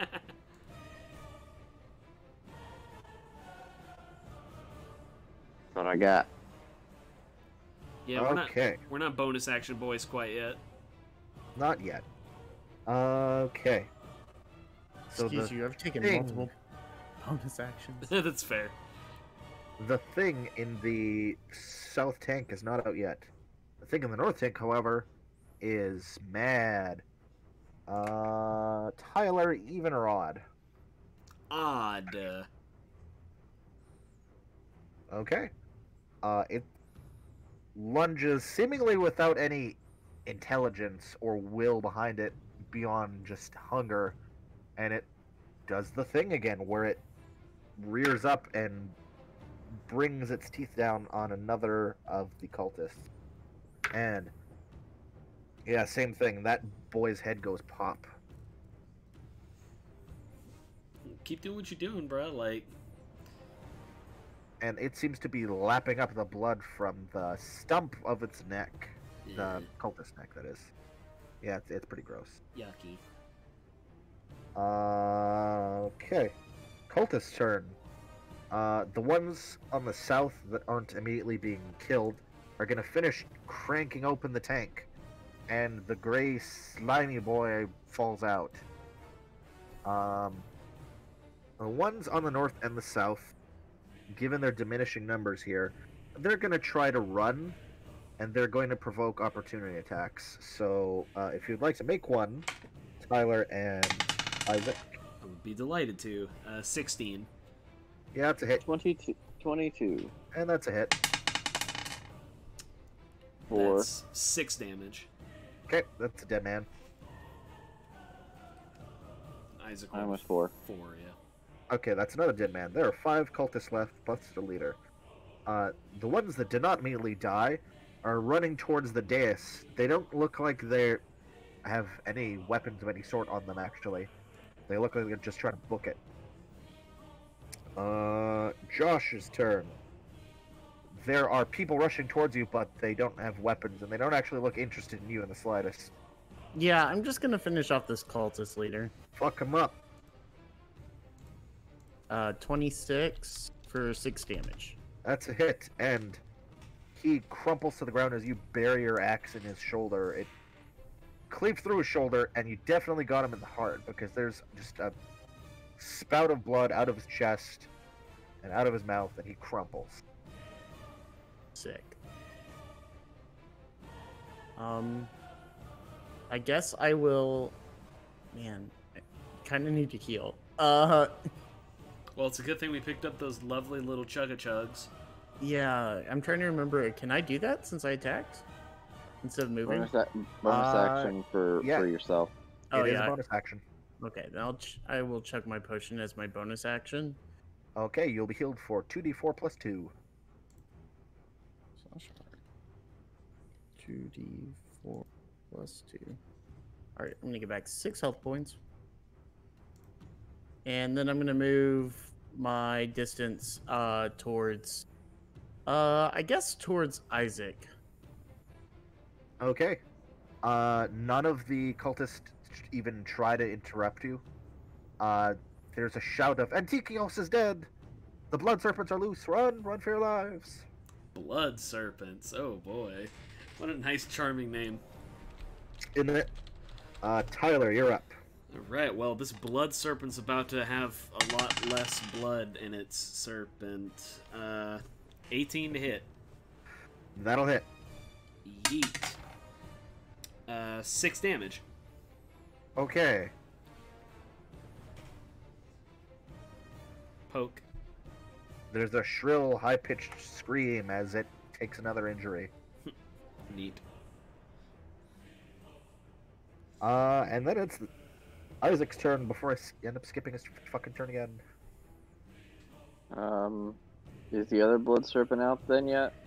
It is, and it's looking. Well, I say looking. It doesn't have eyes, but it's probing in your direction. Okay, I'm gonna poke it. Poke him.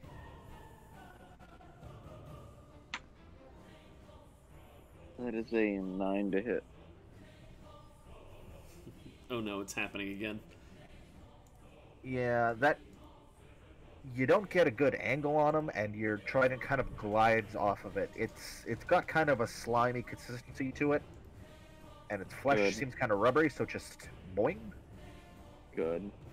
It's an Alaskan Uh, bullworm! okay, it's their turn. Uh, Blood Serpent number one. Tyler, what's your AC again? 19. Okay, this thing rears up, and it digs its teeth into your shoulder Bastard. for a whopping three damage. As Okay. rows of sharp teeth dig into you.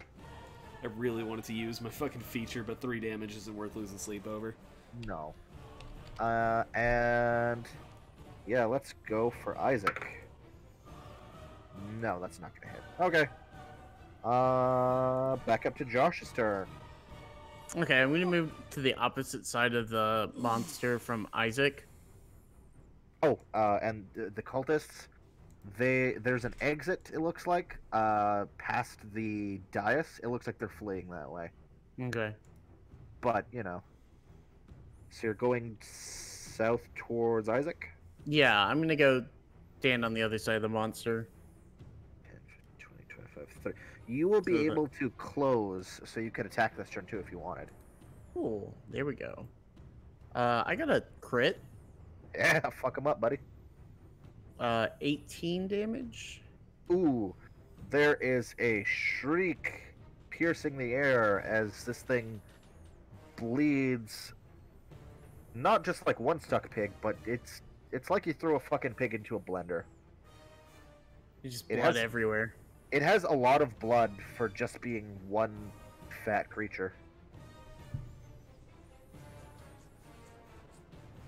Cool. Okay. Uh, Tyler, your turn. Okay. Uh, which one did he, he did he kill mine or did he kill Klonos's? Uh, it's not dead. It's just Okay. very injured. Got you. Sorry. Uh, yours, yours is still relatively healthy. Well, It's, let's it's bled a lot, but it's still it's still uh, standing. Let's say. let's make it a little bit less healthy. Uh, that's an at twenty to hit. Fuck him up. All right, so let's see. So wow, shit. Uh, so it's, uh, 12. 12 damage total on the crit. do like a fancy little spin and then poke. It shrieks and it continues to bleed everywhere. You're probably all covered in blood by this point. That's fine. Uh, Mungark is very happy about that. These things bleed even better than humans do. And it is dark, rich scarlet. Uh, Isaac, your turn. I'm gonna poke it. That is a 13 to poke. Uh, 13. Again, slimy, rubbery surface. Your trident kind of glides across it. Mungark's like, my friend, what's wrong? Are you even trying? Ah, poker isn't just isn't poking. Hey, there Oh, we go. Voice. The- There's my that. poker is not poking. Uh, Isaac, what's your AC? 18. Okay, you will take a hit from a blood serpent. For What okay, the six fuck? six damage on you, as this thing kind of quickly latches onto your belly with its its suckery mouth and takes a chomp out of you. And Tyler takes, uh, we'll see how that goes. Five damage. This thing takes another chunk out of you. I will then use my thing. I'm going to use my reaction to activate my unscarred uh, supernatural gift.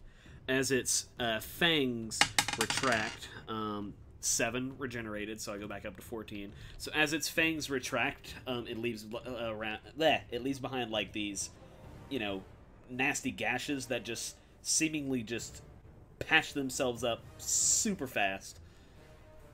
Yeah, by the time this thing has reeled back, where there should be a chunk of you missing, there just isn't. All right, I'm back up to 14. I can't use that until I do a rest. Uh, Isaac's turn. Poke him again. Poke him. 15 to poke. Uh, Getting there. unfortunately, this one too will glide off. Um, their turn. Right? How close is everybody again?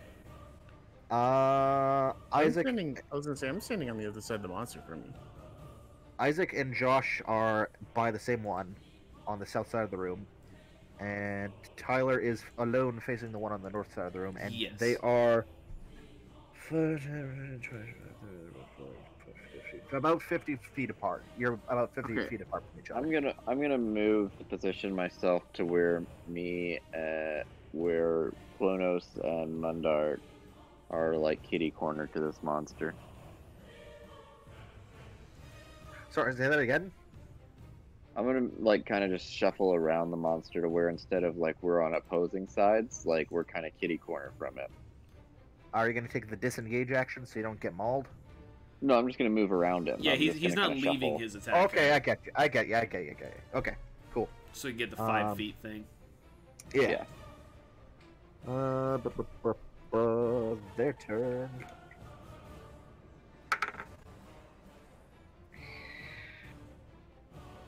Yep. Uh, nope. Okay. Um, they really like the taste of Tyler. Uh, seven damage as this thing bears down on you, and takes out another chunk. Fucking just regenerated that, you asshole.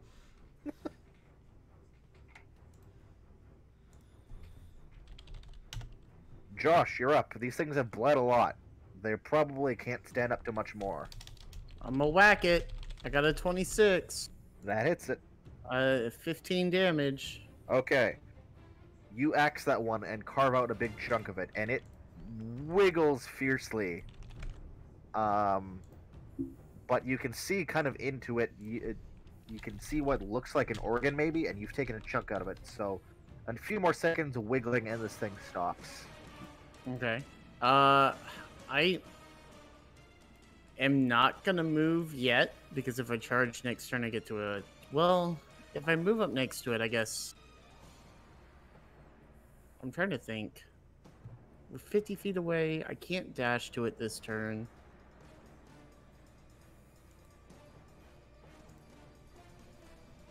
Yeah, I guess I'll just move my movement uh, to get closer to it. Okay, you are a bit more than halfway there.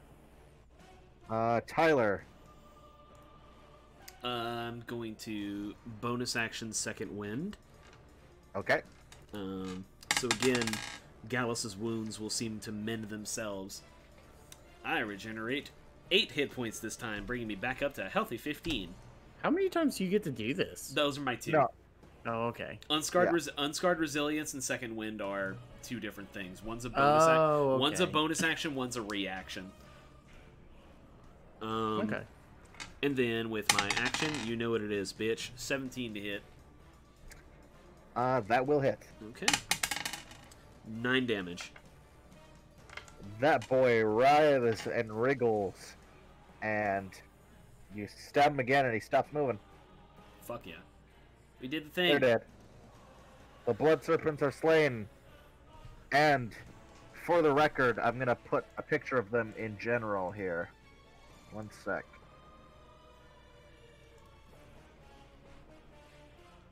I just put new music on.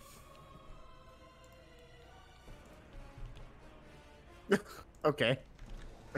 Oh man, they're. Oh fuck you. God damn it. blood serpents. They're giant leeches. That's all right, you ass. Let's Uh, uh, let's like uh check out this cult leader lad. Like, let's look at that knife. Like, what's the deal with that knife? Oh, uh, can I get a religion check from people?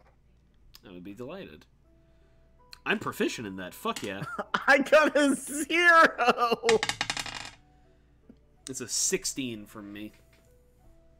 Um, Gark actually forgot his own religion for a second there. I got an I got an eight. M- Mogus, Mo- Mugus. Mongark. Yeah, that sounds right. He suffered some blood loss. Okay, so Gallus alone, as the others are just kind of staring at these things like, "What the fuck were these?" Um, you kind of put some things together here. So the the one guard had mentioned this was some sort of cult dedicated to Pharika, who is all about that. Uh, she likes Hey. snakes and poison and All disease and affliction and snakes, them healing. Um, so the the brass urns the de- depicted healers that kind of syncs up. The non-venomous scorpions and non-venomous snakes don't quite add up, and these uh, quote-unquote blood serpents the they're definitely not directly associated with anything in the religion either. Uh, so whatever this was all about, it kind of didn't make sense as a cult of Pharika. Well, if this is some sort of cult, then it's definitely a fringe movement. It 100%. It could not be. Uh, there's little room for doubt in your mind that this could be anything more than just a small fringe cult because. I mean, for Christ's sake, the blood serpents were leeches. hmm They're not any actual snakes. And he couldn't actually produce a spell either. Which I'm assuming in this setting means that they don't have the, the favor.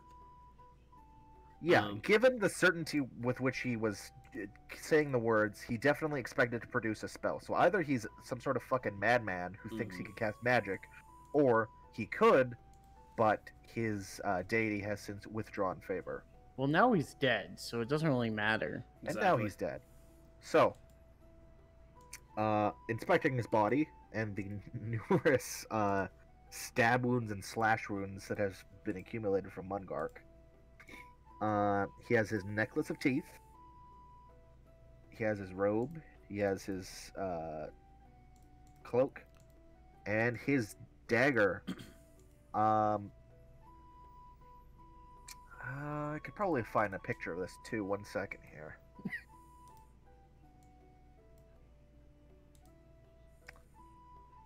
Yeah, uh, that's blurry as hell. One second, I could get a better one than that.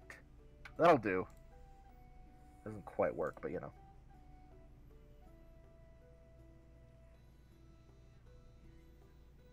Hmm. It looks like it was made from like a single piece of metal. Oh. Interesting. And it looks like that. And we lost a man. Oh, are we Cool. back? Mungark's gonna Yep, take it. Um. Yeah, Mungark's gonna take it and uh, use it or like as a like a symbolic gesture of the the battle he was in. okay. You have a scalpel. If all that's It done and- functions as a dagger. Nice.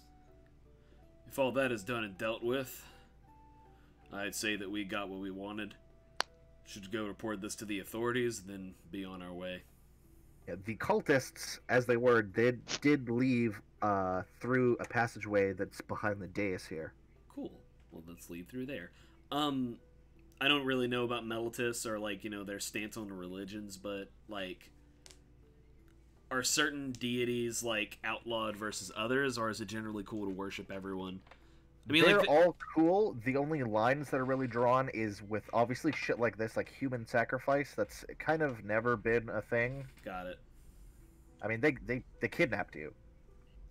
Yeah, that, that, that's kind of, that's exactly where I'm standing. I'm like, well, yeah, go fuck yourself. You kidnapped me. I don't care what you worship, but like, Yeah, if someone was like, "I'm gonna throw myself off a fucking cliff into the ocean for Thassa," people would be like, "Yeah, all right, that's cool, that's beautiful," but like, I'm gonna kidnap these guys and cut their throats at an altar? No, not legal.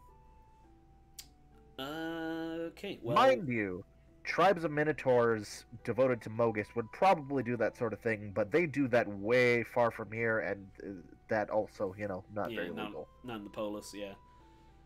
All right, well, I uh, let's say we take the leader's head and go turn it in. And then I'm just gonna walk up and grab him by the hair and, or like the top of his head and just chop his head off and bring it with him. Hmm. Okay. Uh, the necklace of teeth will just kind of clatter to the floor. Oh yeah, I guess that was kind of a token. Was oh well, oh well. Why Uh, prove it with a necklace when I can just bring him the real thing? Goddamn right. Plus, he has teeth in his head. Could make Yeah, a new exactly. necklace. So the passageway behind the dais, uh, it winds up and quickly becomes a set of stairs that have been carved into this passageway. And you find yourself in. It kind of looks like a cellar, Convenient. and some stairs lead up. Then we go up.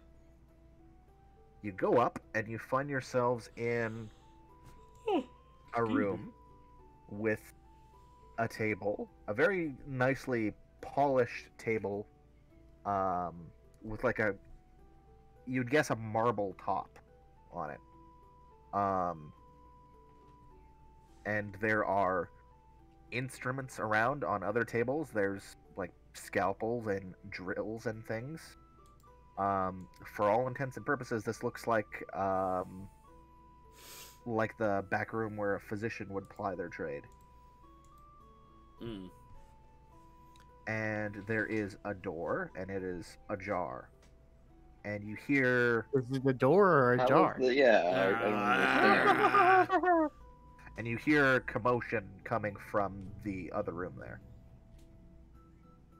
Well, we might as well be like, "Sup, bitches." So you step on through, and there is. It's a scene. Uh, there are the five cultists who are kind of just standing there trying to explain something to a woman in a vaguely similar white uh, toga. Let's, I'll just fucking call it a toga because it's a toga. Um, and there's a number of just random ass citizens in here there's like an older guy with a blue toga who's just sitting in a chair and looks like he's waiting. Uh, there's a small child that's kind of on the verge of tears with uh, his mother. Um, but it sounds like the cultists are trying to explain themselves away. We meeting with Antic. Yes, yes, no, we were. that there were there were people down there, and and then they turn and see you. We are covered in blood. and We have you the are severed- soaked in blood. We have the severed head of the dude. Like, Hello, friends. You're being Uh, deceived. The child starts crying. Yeah, that's fair. That's fair. Better, better he, better he learned this lesson now. Um, definitely gonna be. Don't join a cult. You are all being deceived.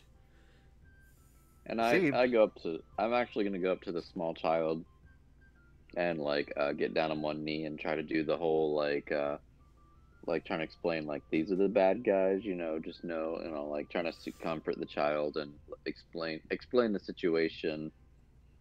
Like uh, similar like uh, like uh, you know, like a cop would like uh, explain it to a ch- child. Um, roll me insight.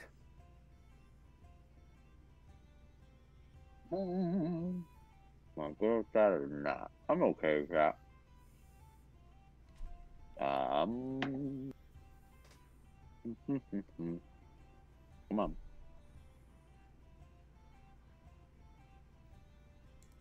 Placid 20. Okay, so he kind of takes to your uh, explanation of what's going on, but beyond that, it seems like he's more less concerned about like the the sort of confrontation here and the people that kind of barged in here, and more concerned about something else, and you know, and of course the fact that you guys are covered in blood and everything. But um, as he's wailing, you can see in his mouth that there's uh, kind of a blackened looking molar in his mouth. And it seems like, if anything, that's probably causing him more distress than anything right now. Hmm. Um, so the woman who these cultists were talking to will, first of all, back away hastily from the people with weapons who just barged in.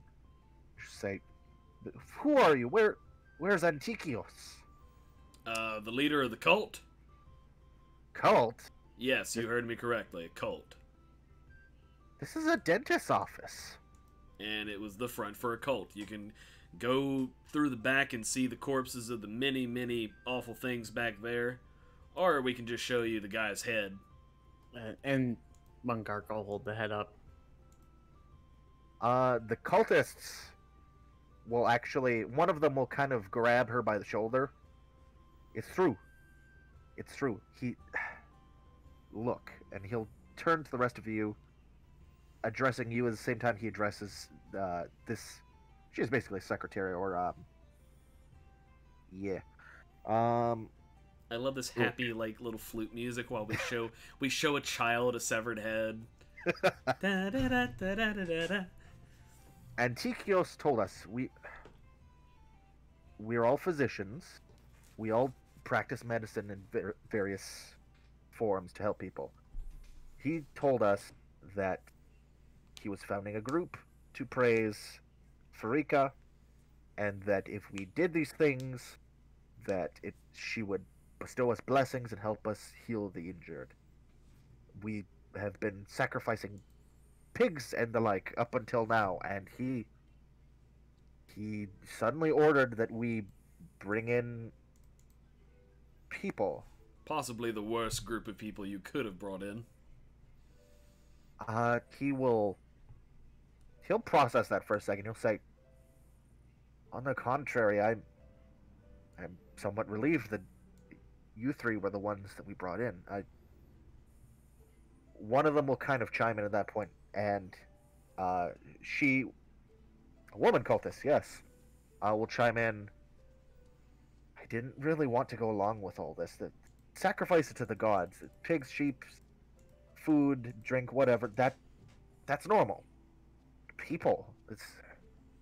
I was too afraid to say anything to him because he he wields divine power, where I I'm just a healer. I didn't want to be smote by F- Pharika. Mungark chuckles. No one in this room wields divine power. Well, Lest this bobbling head. I sort of wield a little bit of divine power, but that's Me, neither yeah, here I. I, I kind of uh, do the the divine. Yeah, the uh, Um, I say that in character. Yeah, no, I I that, I, I kind of do. Uh, Uh, Antiquios' secretary will chime in. He he was a cleric of Pharika. He did have some healing gifts, but Obviously not enough. She obviously Kind of rattles the skull at him. She must have stopped listening. Now listen, we're gonna leave. You can clean up or do whatever you want to. We've all got appointments to carry out, I believe. And if there's a bounty on human sacrifice cults, then I'd like to collect. Uh, the secretary will chime in. I'm uh, I'm not sure what's back there or down there, but I'm sure that the guard would be happy to reward you for your efforts. I I just ah, there's so many appointments that were made for today. What was Antiquios thinking? Cancel and bring a up. that's why you do your cult stuff on Tuesdays. You don't have as many appointments. yeah. Okay, so the cultists, with some relief, mostly that they're not going to be killed, but also because they didn't really want to go along with all the shit he was going to be doing, uh, will turn themselves in when the guards show up. Um, you will each be, of course, interviewed about what the hell went on because you're covered in blood. Um, That's fair. they won't disbelieve you. I mean, they'll go down there eventually and we'll see the the leeches and the altar. Um, and yes, each of you will be paid a reward of hundred gold pieces. Yay! yeah. I will take it. Incidentally, so the the guards that operate in Meletis are known as the Reverent Army. They're the, basically kind of like temple guards for uh, Heliod. So, given that there was like a human sacrifice about to be enacted in their city, uh, obviously greatly alarms them. So they're very thankful that you put a stop to that before it could even really start. Um, they will go on to investigate themselves, and they they seem pretty confident that this was just a fringe cult, and there's nothing else of this caliber going on. Mm-hmm. Um, yeah, that's that's kind of where we're gonna leave it for that prologue. That's that's the intro of how you guys met, and y- you haven't killed each other yet. That's nice. Hey, you know, we haven't. I don't think. uh I don't think Gallus said Eros out loud, so. Yeah, that'll be a can of worms for another day. Yeah, Mogis is very like open, or Mungark is very open about his uh, worship of Mogis, and he's pro- realizing now that maybe I should have chosen a name that was a little bit different than Mo- Mogis, but Lucas and Mungark sounds like a uh, like a bump that could rival Zack and uh, Zack and Borak.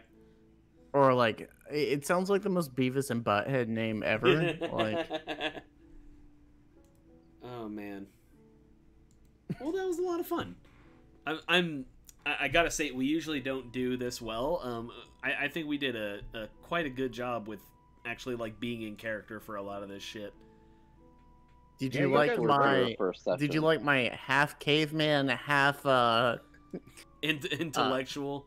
Yeah, well, it was like the voice I'm shooting for is somewhere between like idiot bodyguard and like uh what's his face from wrestling? Uh Fucking Randy Savage. yeah, Randy Macho Savage. Man, Randy Savage. Now, let me tell you something here. Mungar We're gonna don't get a lot no of oh yeah. Now Mogis Oh, sees yeah. everything you lads do, and Mogis ain't happy, so he sent Mungark to take you out of here. Um, My, my my voice is uh basically uh the Pharaoh's voice from Yu-Gi-Oh! Abridged. my leather pants. I accidentally basically became Travis Willingham doing all this. You should be um was it Bakura instead? Yugi boy. Uh, no, that doesn't fit Gallus at all. Uh, but yeah, that was fun. That was a good job, man. I like it. Uh, if you guys want, we could get the uh, the setup for the adventure like we could actually go into the written content here, the professionally written content here, uh, before we break for tonight. That sounds good. Sure. So you guys will rest and drink or whatever it is you guys do to heal up. Um, And- literally just sit there and wait for Gallus. yeah. Um, so you are. You're in Meletis. Uh, it's a city of Jesus. The city of Jesus. I told City you of my god was the one in shit. It is a city of 250,000 people, uh, and that's the city and the surrounding farmland. Two hundred thousand. Um, 250,000. ah, nice. Yeah, it's a big ass city. Uh, what you would expect of it? It's Theros. It's Greek themed, so this is all like marble temples, and the estates are marble and gleaming. Uh, the poorer parts of town, of course, are like um, just plain stone and wood structures stuff. But overall, beautiful city, big city.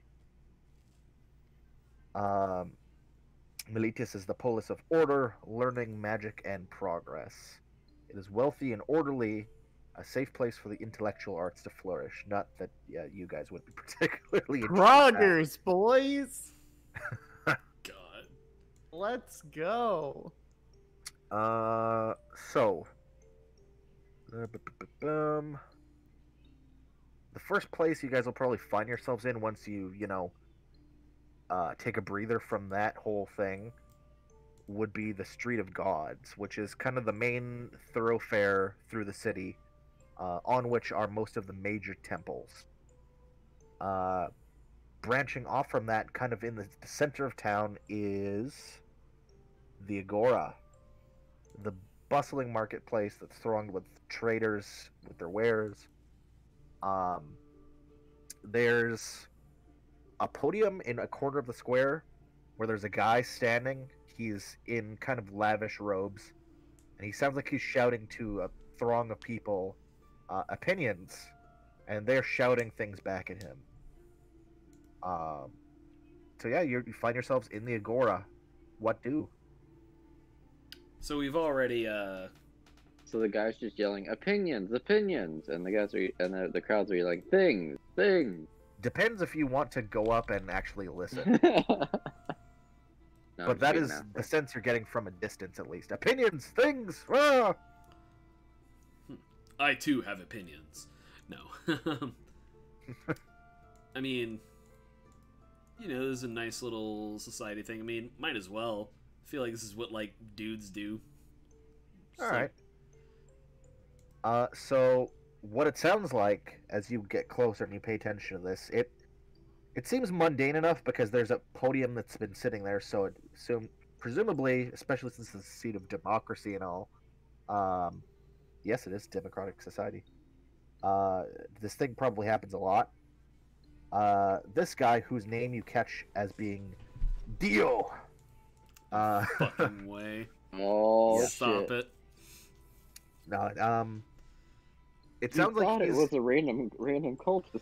And we walk up. Yeah. we walk up to him and we walk up to him and he's like, "Oh, you're approaching me." uh, anyway, Uh, it sounds like he's debating the point that there was someone recently exiled from the city, and he feels it was unjust. And 99.9% of the crowd feels no, he was.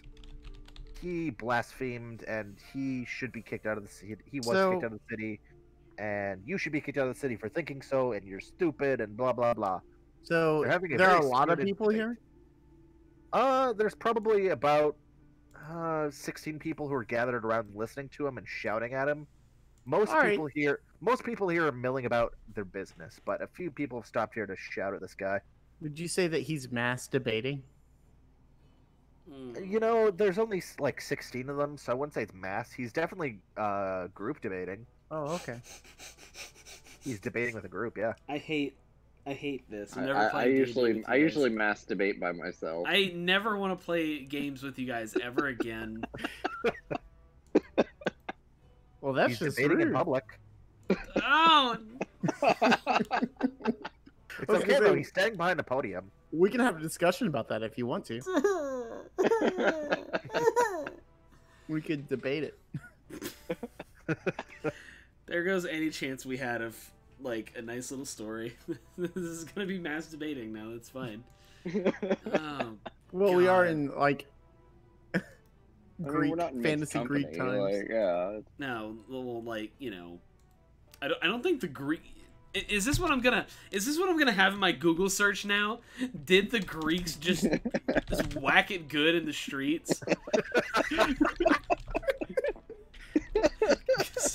like Title y- for our episode one: Whacking It Good. No God. Whack Did, the did you streets. did you remember uh, I taking it to by the streets? Um, oh, good. Wikipedia has a history of masturbation page. I'm gonna save that one for later. Um, so can I can I like just listen in close with like you know Gallus's arms crossed, so he's like he's he's like totally interested in hearing what it's about, but he's trying to act cool about it. Yeah, this is basically daily occurrences here in Meletis. Um, spirited debate. This is a democratic society, so they're more than happy to talk about their politics in the open like this. Mm. Like Um, whether it's okay to jack off in public. Yeah, uh, it sounds like Dio's friend had Jacked off in public. That's why he got ex. God damn it! It sounds like Dio's friend had expressed certain opinions about the gods and whether or not they care about people, and so the the Council of Twelve had, you know, uh, voted to exile him, and so he was, and he feels there's a bit of injustice because he was just expressing an opinion, but the people are all shouting, "No, no, he would have brought disaster upon us." It's one thing to have opinions and stuff, but uh, like publicly uh, express opinions like that about the gods is just inviting disaster. So Tyler is totally on board with the dude who got exiled, but Gallus is kind of with the crowd. If, if the gods are like physical, tangible beings um, that do actively express their favor and whatnot in different ways, then like, yeah, fucking don't be a dick. It's like not our fault that they fucking like smite us for shit. Everyone it's around the time that uh, he ducks a sandal that's thrown at him. No fucking way. Yeah. That you guys notice you're being watched intently. Um. There's an olive skinned woman who's just been leaning against a column, watching you. And as she notices that you notice her watching, uh, she'll begin moving languidly, weaving between bystanders like a shark parting a school of fish. Uh, can I get wait? What? Uh, okay, Tyler will get this, but for the other two, of you could I get an insight roll?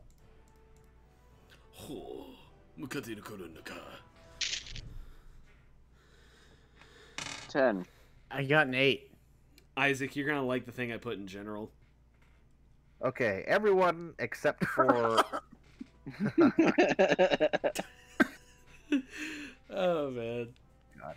Everyone except for Mungark notices uh, just the way that this woman carries herself. Uh, she kind of has her head on a swivel, but she doesn't seem actively uh, concerned about anything. She stands tall. She has a very athletic build. Everything about her suggests that she lives by the sword. This is definitely a woman who is a soldier by trade, but she doesn't appear to be armed. So, even unarmed, she exudes a confidence usually backed up by a sharp blade. But she smiles at you three, and she looks friendly, even warm. Hail, she calls, before sliding into your group as if she'd reserved a place there. You look like you have time to waste. Looking for an afternoon's work. Uh, that depends who's hiring. My name is Melandra. I have the pleasure of serving the Council of Twelve, and I find myself in need of some competent professional. Council 12 is a big deal, right? They are the governing body of the city of Polis, pardon me, of Meletis. So they are a fairly big deal, yes. Hmm. you, you, you good, Josh? You sound like you want to say something. No, I'm, I'm, I'm doing something else. Sorry, I got distracted. Are you debating over there? I am masturbating over here. Um. well, I mean, well, uh, Gallus is gonna look at the other two and be like, "Well, Gainful employment is, is something that may aid me in, in my quest to understand you surface dwellers better. So I'm in. Yeah, gains. All right." Uh, Mungark is like, oh, I don't know anything about these twelve, and uh, honestly, I'm not sure I could care less. That is okay. I don't need you to know about the 12. I just need a task done discreetly and quickly. What sort of task Uh, are we talking about? Oh, it's simple, really. Uh, you are to visit the Temple of Ephara, and this is on the authority of the Twelve, I should add. Remove a sacred relic from the temple and bring it. Assuming I don't hear any uh, gossip about it in the next few days, I'll pay you each 100 gold, which you can collect from me here in the Agora. From Three what days. I'm get from what I'm gathering, the the Council of Twelve, uh, they have pretty good uh, pull in the city. Why is it an issue of discretion? Is isn't there world word law? Yes, and it is on their authority that I do this, but. And she will look around quickly to ensure that you're not being overheard. Um. There's a prophecy that this relic needs to be removed from Meletis, and if it is not, an enemy will take it by force. And you're, Well, right.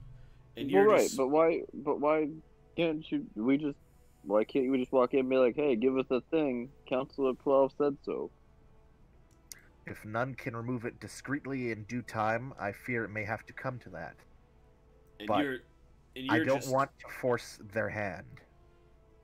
and you're just bringing this to three strangers you meet out in the middle of uh, the debate square, and not some of the highly trained soldiers that you've got lying around all here. You uh, act under the authority of the Seven, but this seems suspect at best. The Reverent Army are too conspicuous. I need outsiders to help me with this, and she'll make a show of sizing you guys up, even though she's already done this. You're certain. You three look good, but I I can get others to do this if you will not.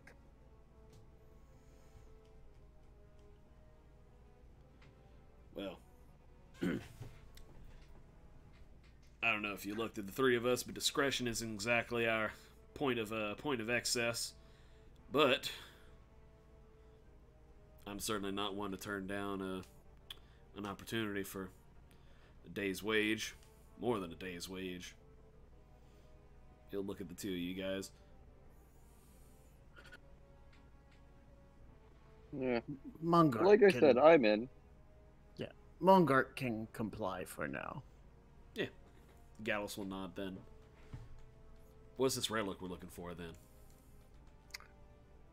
She will smile thinly. This relic is the mask of Aino. And that will be a what roll? Let me see. Where the fuck is it? Uh, history or performance? Your choice. Ooh, lovely. No bonus, but I got a 15. Let's see here. Performance is a two. I got a four.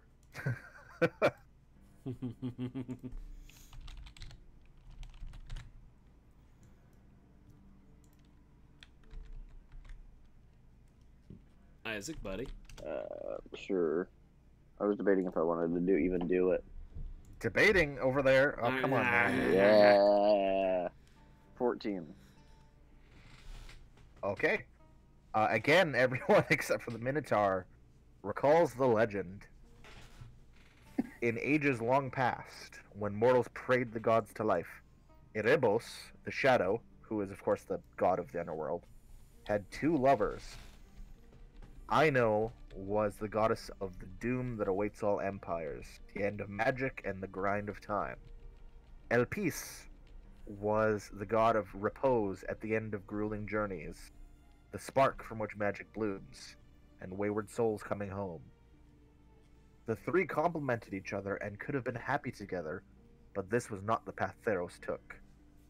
Ino and Elpis both fell in the war against the Titans. Grieving Erebos created two artifacts to remember his lovers, masks shaped in their visages. All the grief and despair at his loss he poured into the mask shaped as Aino. All his warm memories of their time together he crafted into the mask shaped as Elpis. Then, unable to bear to look at them, he sealed the masks away. At the height of Arconia's power, that empire of virtue which held Theros in its merciless grip, the tyrant Agnomakhos set out to find the masks. Legends diverge whether the tyrant never found the masks, or if heroic Kynaios and Tiro returned the masks to the underworld after they defeated the Archon. Either way, Erebos now feared the masks falling into the wrong hand. He broke the Elpis mask into five pieces and scattered them across Theros. Some pieces he hid where only gods may tread, others he gifted to Theros' greatest heroes, and yet others he gave to dread monsters to guard. The Ino mask, which resisted all efforts to destroy it, he gave to the goddess Ephara to keep safe.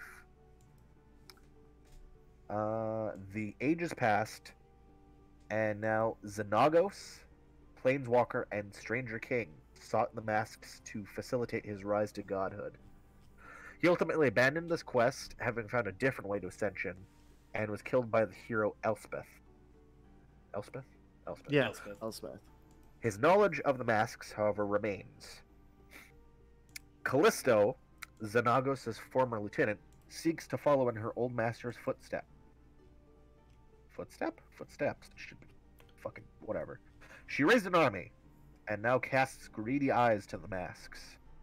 The heroes must stop her.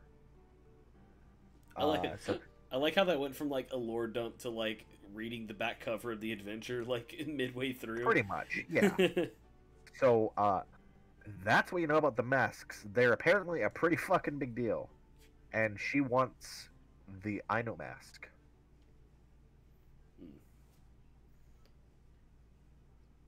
So, pretty big deal. Pretty uh, big sounding job.